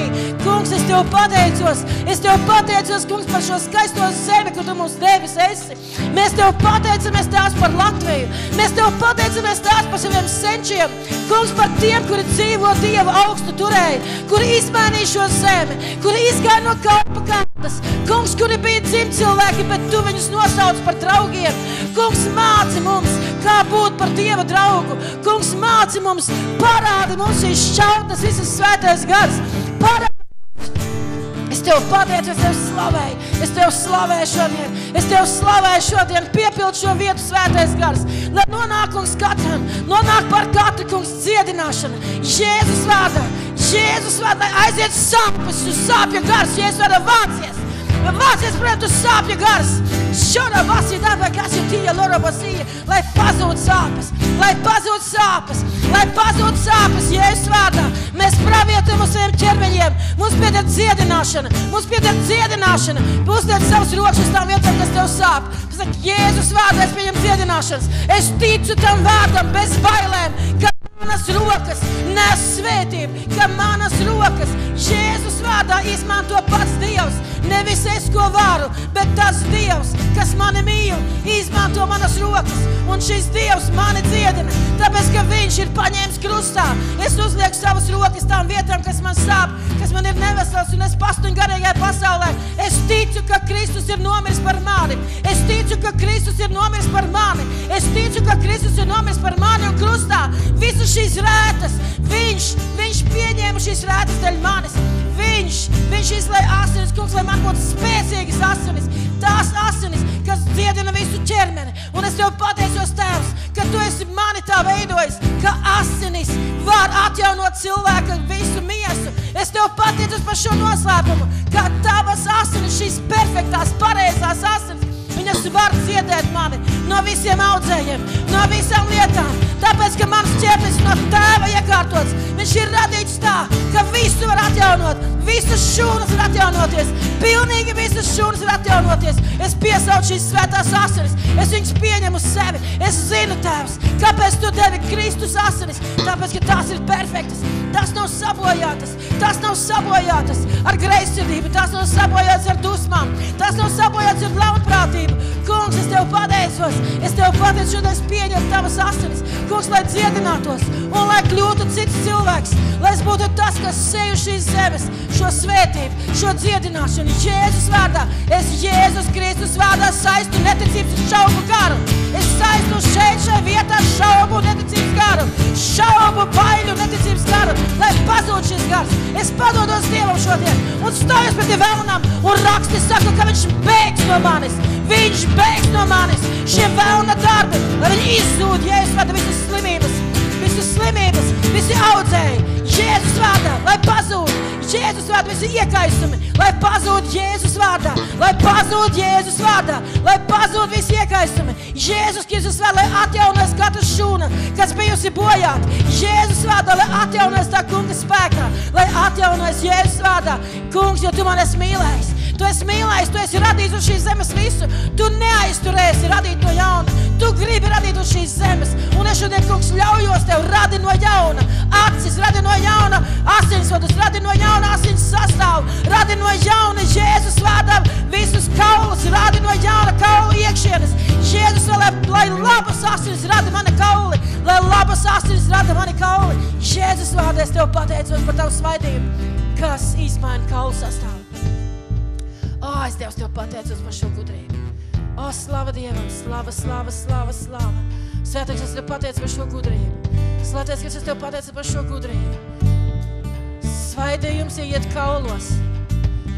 Ja cilvēks ir tuvu Dievam bieži un ilgi, halleluja, slava Tev. Slava, slava, slava, slava, slava. Es Tev pateicos, Svētais, Gars, par Tavu tuvumu. Es Tev pateicos, Svētais, Gars, par Tavu tuvumu. Es Tev pateicos, Kungs, ka Tu patreiz dziedini. Dziedini, dziedini, Svētais, Gars, iziet cauri rindām, dziedini. Kādam sāp dvēsele, kādam tā ir miesa, kādam tie ir kauli, kādam tas ir kāds sapāpušas dzīslas vai kādam acis, vai kādam vēl kas Jēzus vārdā. Lai viss top dziedināts, viss top dziedināts, viss top dziedināts, viss top dziedināts Jēzus vārdā, Jēzus vārdā, Jēzus vārdā. Sadodamies rokās, iedodiet rokas, pieskarties katram, lai katrs katram pieskarās. Varat sēdēt, varat stāvēt, kā jūs gribat, bet katrs, lai pieskarās. Rokās ir teikt, Dievs, teiks, uzlieciet rokas un jūs tapsiet dziedināt. Uzlieciet rokas un jūs tapsiet dziedināt. Tad pieskaries vienkārši tas, ka tavas rokas. Tās ir otras, uzticies. Uzticies, nedomā patreiz par šo cilvēku. Ja tu esi kaut ko domājis, kaut kur tur nu viņš, kāpēc viņš, un viņš tur kaut kāds ļauns vai kā, atceries. Viņš ir piedzimis Jēzu Kristu par jaunu radījumu, un caur viņu vārdu Dievs iziet.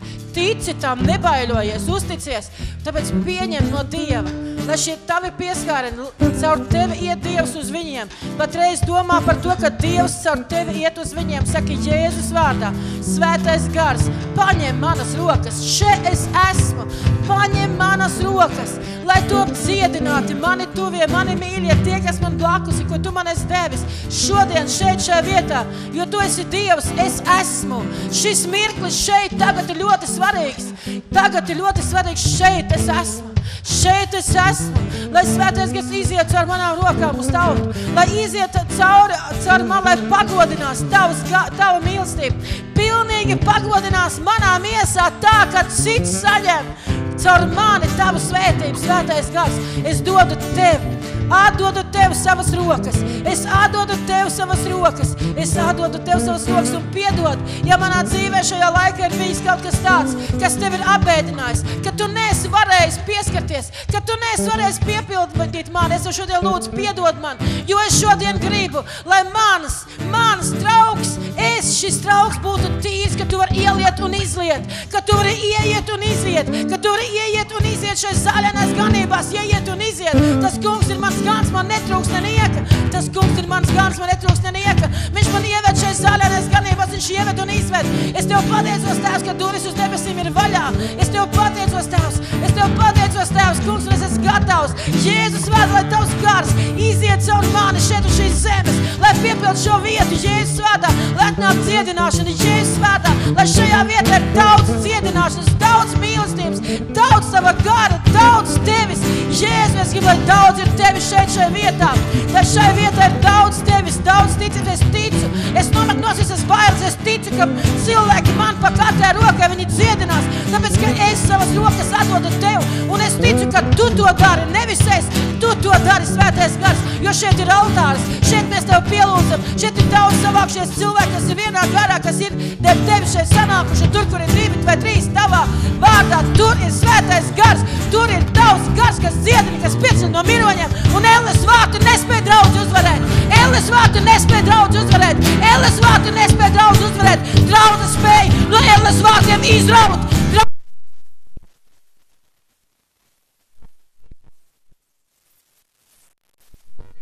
atsākas, tā Kur ir nāve tavs dzelonis?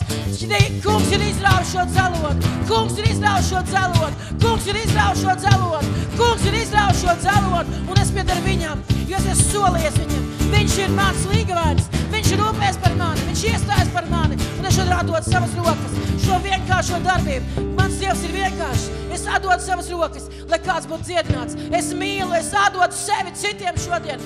Tā ir īstā mīlestība, ka es atdodu sevi citiem, nedomājot par sevi. Es atdodu citiem. Es tev pateicos, Tēvs, tev slavēju. Halleluja, slavu tev, svētais gars. Mēs pateicamies, ka tu par godu ši- šim varenajam mīlestības dievam, tu esi piepildījis šo vietu, jo tu esi mīlestības dievs.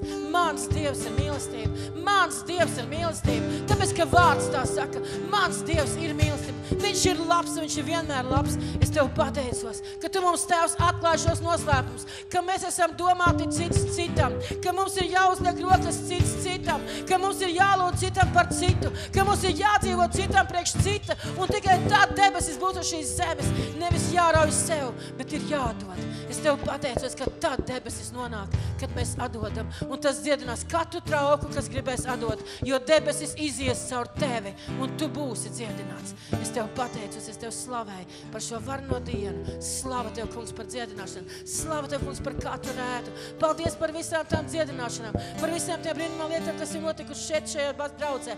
Es tev pateicos, kungs, pagodinies šeit, šajā miesā. Pagodinies šeit, šajā miesā, lai tavu mīlestību šeit ir pilnīgi Jēzus vārdā. Es tev pateicos, es tev slavēju. Es tev slavēju, ka mēs daudz esam baudījuši par dziedināšanu. Halleluja, slava tev. Slava, slava, slava, slava. Halleluja, slava tev. Slava, slava. Halleluja, slava. Amen. Amen. Egīl, panāc šurp. Pastāst vēlreiz, vienkārši lai, vienkārši, lai Dievs tiek pagodināts. Pastāst Dievam, pastāst uh, šai zemē, šai pilsētai un vēlnām pasaki, ka tu esi, kā tu esi dziedināts. Cilvēkiem tas jau viņš tas tā. Jā, jā.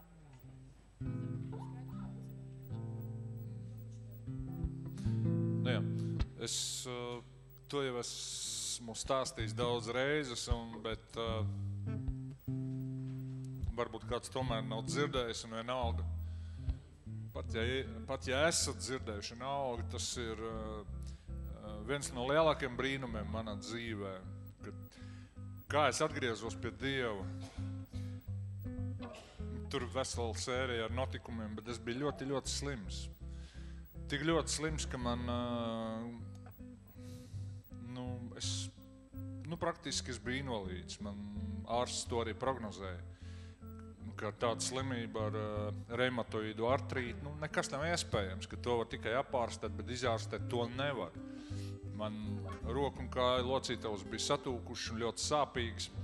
Un man radīja grūtības noturēt uh, rokās pašus mazākos priekšmetus. Man bija ļoti, ļoti, ļoti grūti staigāt. Es staigāju tādam stīvam kājām, jau visu laiku sāpēja.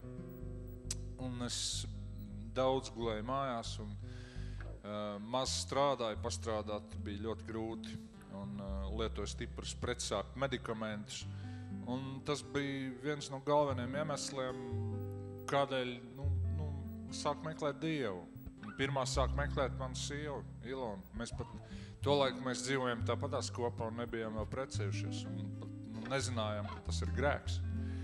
Un, nu, bija tā, ka nu, tad bija viena alga, ka tik kāds salmiņš pie pieķerties, lai tikai nu, neslīgtu, lai nu, ūdens nesmelties mutē, nu, jo gribējās dzīvot. Dzīvot kā visiem.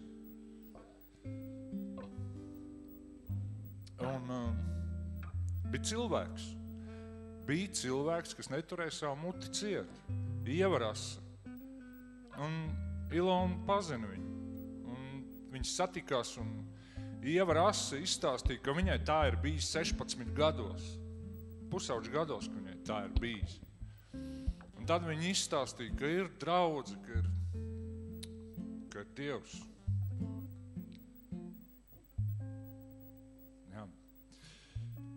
ka ir Jēzus. Un ka tikai Viņš var glābt. No viss, ne tikai no slimībām dziedināt, bet arī dvēseli glābt. Un principā jau nebija ko zaudēt. Un uh, tad Ievas šīs liecības iedrošināt, tad mēs arī nu, meklējām un, un, un, un tik ļoti interesants moments tas bija, kad vēl, vēl pirms tam iepriekš, kad es, es biju ļoti stiprā alkohola atkarībā un es, tad vēl man, es nebiju slims. Bet es biju tāda bezcerībā, izmisumā. Es gāju pa ielu, kas tā ir pa ielu, tur blakām Kuldīgas ielai, kur, kur toreiz bija draudzes telpa tajā laikā, tajā klubiņā, ģertrūds, nē, vai tā ģertrūds, tā varbūt arī ģertrūds starp, starp Gerkenu un starp to frizēta vandu tur pa vidu. Un tad draudz bija tur, un es gāju vakarā vēlā pa to ielu, un tur bija augšā skaļa lūkšana otrā stāvā. Un es gāju, un es nesapratu, es biju piedzēries, es domāju, kas tur notiek? Bet kas tur notiek? Viņš skaļi lūdza. Man tā kā gribējās iet, un tiešām ir, es gribu apskatīties, kas tur notiek. Bet tad tajā brīdī tā lūkšana apklusa. Bet tas nebija tā pat viena. Tas nebija tāpat vien Dievs jau visu bija iepriekš pakārtojis. Un Ieva Rasa izstāstīja par šo draudz, par jauno paudzi. Un tad mēs uh, vienreiz, otrais, es, man pat, pat tie notikumi jau ir, liekas, tagad jau tik sen, un ka man mazliet tā kā miglā tīc, bet rezultāts bija tāds, ka mums uzaicināja līdz uz konferenci uz Rīgu, Un tur bija atkal vesela sērija ar notikumiem. Vēlams negribēja ne par ko, lai mēs uz turieni tiekam. Bet Dievs izdarīja savu darbu, un mēs aizbraucam uz turieni pa taisno uz uh, uh, sporta halli. Tur bija tūkstošiem ticīgi cilvēku. Un, un no sākuma likās, ka tas vājprāts pilnīgi, kas tur notiek. Jo kā jau pasaulīgam cilvēkam tie priekšstati par ticību, par baznīcu, nu, ka tur svētbildes un krusti un Dievs kaut kas šausmīgs, liels un tur briesmīgs, nu, ka tūlīt tev sodīs, ka tu vari beigts pagalām būt, tur jābūt klusumam un viss, nu, mācītājiem melnos terpos. Nu, pasaulīgi tāda vienkārši priekšstat. Nu, tā, tur nebija ne mazākā sakara ar dzīvu ticību, ne, nekā tam līdzīgi. Un mēs tur pavadījām visu dienu šajā sporta hallē, tur bija ļoti skaļas lūkšanas, ļoti skaļas slavēšana. Un tūkstošiem to cilvēku apkārt. Ar, Viņa acīs bija mirdzums. No viņiem izplūda mīlestība, prieks, Un viņi bija pilnīgi savādāk. Un mēs tur aizbraucām. Tādu, nu, es vismaz tiešām es biju drūms. Man negribējās ne par ko smaidīt. Nebija īpaši par ko. Bet pavadot visu to dienu, kā rakstīts ir Dievvvārdā, ticība radās no dzirdēšanas. Un es klausījos visu, kas tur notiek. Nu, protams, dienas beigās es biju gatavs. Man sirds bija gatava.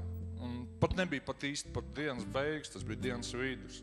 Tur bija uh, jā, Anselms Madabuko mācītājs. Un viņš izsauca priekšā uz grēku nožēlas lūkšanu. Un es pat īsti nesapratu, kas un kā, bet es izgāju un es uh, atkārtoju tos vārdus, ko viņš uh, runāja, ko tulks runāja, un es nožēloju savus grēkus. Un tad maz pamazām, maz pamazām gāja laiks, un pienāca tāds brīdis, kad uh, man beidzās zāles, un es domāju, atkal, atkal tie desmit lati pa, tie, pa to mazo paciņu. Es domāju, vēlns, cik daudz tu man esi nolaupījis. Un es domāju, nē, es nepirkšu vairāk tās zāles un visu. Un, bet es pastāvīgi lasīju vārdu daudz vairāk nekā tagad īstenībā. Un es klausījos arī vairāk, klausījos daudz vairāk arī ierakstus ar dievkalpojumiem. Man ticība auga, nu, man sāpes bija, bet man ticība auga. Un es tā kā šaubījos, bet, bet tajā brīdī, tajā dienā situācija arī tāda bija, ka man īsti nebija tā nauda. Kā, bet es nenopirku tas zāles. Bet tā bija pēdējā reize. Tas jau ir daudz gadus atpakaļ, kad es pirku zāles pret to poliartriju. Un vēl mēs jau izmainījām stipri dzīvi, dzīvi savējo ar Ilons. Es dzirdēju vārdu un nezinādams, ka mācītāji ar Ilons jau bija lūguši, es dzirdēju vārdu, es, es skatījos, kas tur rakstīts. Tur rakstīts, piekodiniet tiem, kas tikko atgriezušies, lai uh, viņi izvairās no netiklības. Ir tā rakstīts, un es saprotu, tas ir par mums. Tā ir netiklība. Mēs dzīvojam tāpat vien kopā. Un tās arī bija atvērtas durvis vēlnam, pie kurām, pa kurām viņš bez kādām problēmām ienāca pie manis, manā dzīvē, manā veselībā. Un tā tik liekas, ai, tā jau viss ir dara. Nu, bet nē, ja tu esi nožēlojis grēks, tu piedari Jēzum Kristum. Tu piedari Jēzum Kristum, ja tu esi atdevis vienreiz savu dzīvi viņam. Un tu nedrīkst grēkot vairāk, jo citādi vēlns nāks pie tevis un viņš izlaupīs. Tavu nāmu, tavu veselību viņš paņēmis prom, jo viņš ir nācis, lai nogalinātu, nolaupītu. Un tad es to sapratu, un uh, es, uh, mums nebija naudas praktiski. Un, un, un, uh, vienkārši pēc tiem visiem notikumiem draudz mums sarīkoja skaists kāzas. Mēs sarakstījāmies, apprecējāmies. Un, Tas arī bija viens no pagrieziena momentiem, kad mūsu dzīves sāk iet uz augšu. Maz pamazām, maz pamazām, maz pamazām. Ar katru mēnesi, ar katru gadu man palika labāk, labāk, labāk. labāk. Un, uh, es atceros, kad es uh, skaldīju malku pēc tam un šķūnī slavēju Dievu. Jo es pirms tam es gadiem to nevarēju darīt, jo bija ļoti sāpīgi. Bija. Un tagad es, ir tā, ka es reti atceros. Es vienkārši reti atceros par to slimību, par eģiptiešu slimību. Visas slimības no Eģiptes, no vecās dzīves, no kuras jāiziet. Slavu Dievam! Tas, tas ir viens, pats, nu, viens no lielākajiem brīnumiem manā dzīvē. Protams, ir bijuši ļoti daudz, bet ir vajadzīga ticība, kā sinepes sēkliņa un neatlaidība. Un neatlaidība. Un neapliecināt neticību. Nekādā gadījumā. Nekādā gadījumā, lai būtu cik grūti, neapliecināt neticību. Amen. Amen. Es, tad, kamēr viņš stāstīja, es atcerējos daudz tos notikumus. Jā, tur jau visādi ir. Viņš teica, uh, lai, cilvēks, lai cilvēki izrautu no Elis vārtiem, tur, zini, vēlams cīnās, līdz pēdējiem viņš cīnās. Un tur tā, tā bija, kad mēs jau bijām lūguši, lai viņš varētu, lai varētu atbraukt uz to, uz to, uz to konferenci. Jo, Uh, Ilona jau bija atgriezusies, bet uh, Egīls vēl nē. Tad nu, uz to konferenci viņa veda. Un, un tur tā kā pa nelēm parasti skatā dievkalpojuma beigās ir nu, sauc, nu, nožēlot grēkus, vai ne? Pirmajā dievkalpojumā nezinu, kāpēc nesauca. Otrais dievkalpojums viss bija veltīts pirmo reizi Aleksējs Leģājos mums stāstīja par savu jauno pasaules kārtību. Nu, tad kāda jaunās pasaules kārtības būtība, kas mūsu te, de, nu, mācītājiem atklāta? Tas nozīmē, ka Kristus ir visur. Sākot ar valsts varu, beidzot ar, ar vismazāko cilvēku šīs zemes. Visur ir Kristus vara. Nu, viņ, viņ, viņš, viņš grib valdīt visur. Un, un tā, un viņš noklausījās šo, un tā, nu, tāds, un viņš tagad tāds, nu, tāds referāts vai, vai tāds, nu, tāds kaut kāds sanāca dievkalpojums, un viņš nesanāca, un beigās nav atkal, atkal nesauc. Atkal. A, es visu laiku, mēs visu laiku domājam, nu, kad, nu, kad, un mēs tā vēl nosēdinām Eduardam Lakam to Egīlu, nu tā, Egīls, es sēžu, Eduards, Egīls un Ilona. Un mēs sēžam tajā lielajā zālē, un nav atkal mēs redzam, Edvards, es, tu, es to ar viņu tā, nu tā, nu tā, kā tur. Es tik sēžu un lūdzu, Dievs, beigās, nu tagad pienāk tas pārtraukums otrais, vai ne? Nu tagad jau pulkstens kaut kur pieci jau ir vakarā, no šie noguruši. Viņi tā kā grib braukt mājās. Es saku, Ilona, Regina, nu lūdzu, nebrauciet mājās. Jūs pašu labāko palādīsiet garām. Vakarā, tagad sešos būs mada buko mācītājs, vai ne? Tos būs kaut kas vienreizējs. Bet, nu, es domāju tā, bet, bet, bet viņi var, nu, mada buko tur sludinās, tad kamēr viss tās lūkšanas, un tad vēl tikai atgriešanās, varbūt, ka būs, nu, zinu kā, nevar zināt kā pa kārtu. Es saku, debes tēvs, es tajā, es, es kā šodien, es saku, debes, es tev lūdzu, nu, kas tā paliet, ka nesauc, bet uz atgriešanos nevienu. Kungs izmaina kaut ko, izdara kaut ko, lai, lai svētais gars samaina kaut ko, lai ātrāk viņi var atgriezties. Tas eglis var neizturēt. Ja viņš vēl tāds neatgriezies, tur ilgi sēdēs, viņš gribēs braukt projām. Un vēlams panāks savu. Es saku, es iestājos, es stājos pati vēlnam. Viņš ir atbalsts līdz šejienai jau. Tur jau tā bija visādas peripētīs, ka nevarēja tikt projām. Un zināt, kas sākas dievkalpojumus, tā nekad nebija bijis. Iznāk Madabuko, nos, nu, tur slavēšana, viņš kaut ko tur lūdz. Viņš saka tā, es gribu, lai pa priekšsēd dievkalpojumā atnāk visi, kas vēl nav atgriežies pie Dieva, lai atnāk uz aizlūgšanu. Mūsu garais Egīls tā kā tāda bulta izlec laukā no blakām, tad viņš kā viņš skriešus aizskrēja. Tas bija viena lieta. Otra lieta par, to, par tām precībām. Ilona pie manis atnāk, Ilona izstāstīšu ātri. Ja? Ilona pie manis atnāk, Ilona saka, es vairs nevaru dzīvot, es neko nezinu, mums ar Egilu viss tie laikam pajuks. Un kāpēc tā? Nu, es nevaru vairāk šitā dzīvot, neprecējušies, man tas viss ir pretīgi, un es nevaru, man tas spiež, un es nevaru Dievu priekšā pēc tam iet. Es saprotu, ka mēs grēkojam, bet es viņu mīlu, es nezinu, ko lai daru. Es saku, lūgsim Dievu, manam mazā istabiņā atceries, ja? Mēs sēdējām, mēs sakām, Dievs, Dievs, ja tas egils ir tas īstais vīrs viņai, ja tas nu tā ir, tad Dievs dod, nu tagad mēs tā kā aptēt, tā kā tas ķēnis, mēs lūdzam, dod viņam tādu prātu, jau nu nē, bet, nu, Dievs, tad lai viņš arī, nu, lai viņš, lai viņš, lai viņš kā vīrietis, nu, aicina viņu pie altā, lai tas notiek, ja? Bet viņa jau neko neteica Egīlam, es arī nē. Tas bija mēs, viņa, tu atnāci no svētdienas vakarā pirmdien, tāpēc, ka tu brauci projām. Egīls atnāca pie manis trešdien. Viņš man zvana trešdien, pagāja divas, trīs dienas. Viņš man zvana.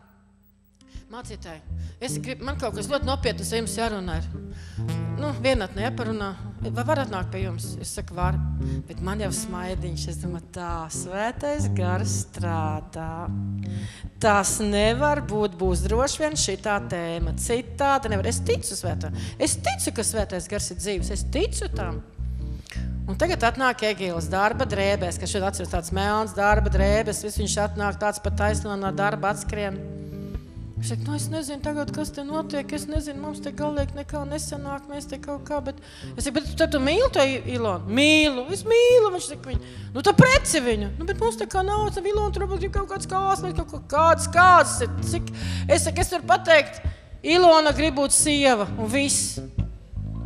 Jā, bet kā tu tās kās? Nu, Dievs palīdzēs. Mēs beigās te sad, sametām draudzes, sameta riņķus, telpa mums bija, pasūtījām divus vai trīs kriņģeļus.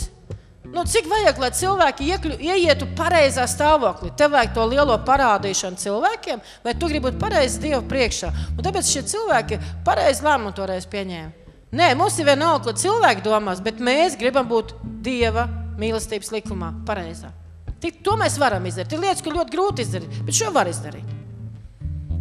Un, un Ilonai bija tikai kurpes, tu laikam pati nopirktu, teici, jā, pārējo visu tev sadāvāja. To līga ietērpa, tos drēbes bija sagatavots. Viņu ietērpa ar lielu mīlestību, visi tērpa viņu. Ar lielu mīlestību gaidīja šo dienu. Ja? Un mēs tā arī, tad, kad dzimtsarakstu birojā, nu, viņus salauzāja, es nepakaunējos pateikt viņu draugiem, paziņām, pazi, tādu paziņojumu. Saka, mīļie, labie draugi, paldies, ka esat atnākuši šodien šeit, pagodinājuši ar savu klātbūtni šo brīnišķīgo dienu, kad divi cilvēki savieno viens otru, vai ne, Dieva priekšā un cilvēku priekšā, un es jūs uzaicinu. Pūksteni četros, kūdīgs ielā deviņi. Mēs svinēsim šo svētkus tālāk. Atnāciet uz kafiju ar groziņu. Un, zinat, tur parādījās īstie draugi. Tie īstie atnāca. Saprot, tie īsti atnāca. Mums bija gāri klāti galdi, uz viņiem daudz nebija virsū, bet tā bija jauks vakars, kas atcerās, ka tur beigās pārģērbās tā visi, ka Ilona Regila nevar atpazīt, kas ir kurš. Regils garš, bet Ilona nevar atrast par to burzmu. Tur pārģērbās, spēlēja spēles ar bērniem. Mums bija jaukas kāzas. Un pēc tam viss mainījās savādāk. Ja? Bet tas sākums bija bailes, bija jānomet nost. Kā es teicu, mīlestībā bailu nav. Bija jāpamet nost viss. Tur nespēlē loma ne, ne, ne, ne, ne, ne nauda, ne kaut kādas tur. Visi šķēršļi grūst. Ja? Ja grib būt cilvēki, būt, būt Dievu priekšā mīlestībā. Ja? Slava Dievam! Slava Dievam! Nu, tad nāc arī! Abi divi saprata, bet tā kā, nu, tā kā nevarēja nekā pielikt to punktu. Un visāds nepareizs lietas notikās. Viņi arī avarēja. Pie vāras kaut kur, kur tas bija tas dziļais kaut kāds grāvs. Ja? Nu, vienmēr saku, tas ir tāds stāsts, kas tā kārtīgi jāizstāst, bet tur bija tāds, beig, beigās bija tā, ka viņi abi ieloda uz galvas, uz mašīnu, uz jumta iekrita ledu ielūza. Ja? un sāka smelties ūdens iekšā. Viņa, viņa abi bija piesaistīti, ārā netiek, tāpēc, ka durvīm, nu, mašīna ir uz dziļāk, durvis nevar tā kā vaļā pat būt. Ja? Es vairs neatceros, kā tur viss tur beidzās, bet kaut kā beidzās, bet tas bija moments, ja, kad Ilona saka, ka viņa kliedz uz Dievu, es gribu dzīvot, dod man vēl iespēju dzīvot. Es dzīvošu savādāk. Un šie vārdi ir jāatcerās. Šī arī ir tie mīlestības vārdi. Mēs kāpēc šodien atceramies to. Šī ir tā derība, ko mēs esam teikuši Dievam kaut kad. Es dzīvošu savādāk. Ja? Viņš daudz mums neprasa. Viņš prasa, tad dzīvo savādāk, pa bišķītām, pa pakāpenām, pa solītiem. Ej uz to pusi, kur, kur es tev aicinu. Halleluja, slavu Tev. Es ticu, ka tu būsi, ka tu, kā, noteikti šeit būs cilvēki, kas būs dziedināti dažādās jomās. Un lai tavas domas ir par mīlestību. Kas īsti ir mīlestība? Un Dievs tev atbildēs. Kas tavā dzīvē ir kaut kas jādara? Pasaka savam blakus stāvošam. Es sāku mīlēt. Es sāku mīlēt. Pa īstam, es sāku mīlēt. Es mainos. Tas nozīmē, ka es mainos. Mīlestība vajadzīgas izmaiņas. Jā. Tā nebūs tāda kā sākumā, viņa būs pilnīgāka. Mīlestība kļūst pilnīgāka ar katru gadu. Viņa ir savādāka. Viņa nav tāda, kā bija iepriekš. Bet sākumā doties solījumi nostiprina to, ko tu ej pēc tam. So, pie, tu pieturēsies pie piesas solījuma. Dievs saka, atgriezies manā, jau, jau pirmā, tajā pirmā mīlestībā. Tas nozīmē atgriezies pie tā, ko tu solīji sākumā. Atgriezies pie tā. Un es uzticīgs tam. Amen. Lai Dievs mūs visus svētī un lai viņa gars mūs sargā Jēzus vārdā, lai mūsu ģimenēs ir šī mīlestība Jēzus vārdā. Nevis mākslīgi, nevis liekuļot, bet patiesi, ka mēs patiešām patiesi to vēlamies izliet savās ģimenēs pirmām kārtām. Esi jauns radījums Jēzu Kristu. Esi mīlestības bērns. Amen. Lai Dievs svētī. Un mums tagad ir viens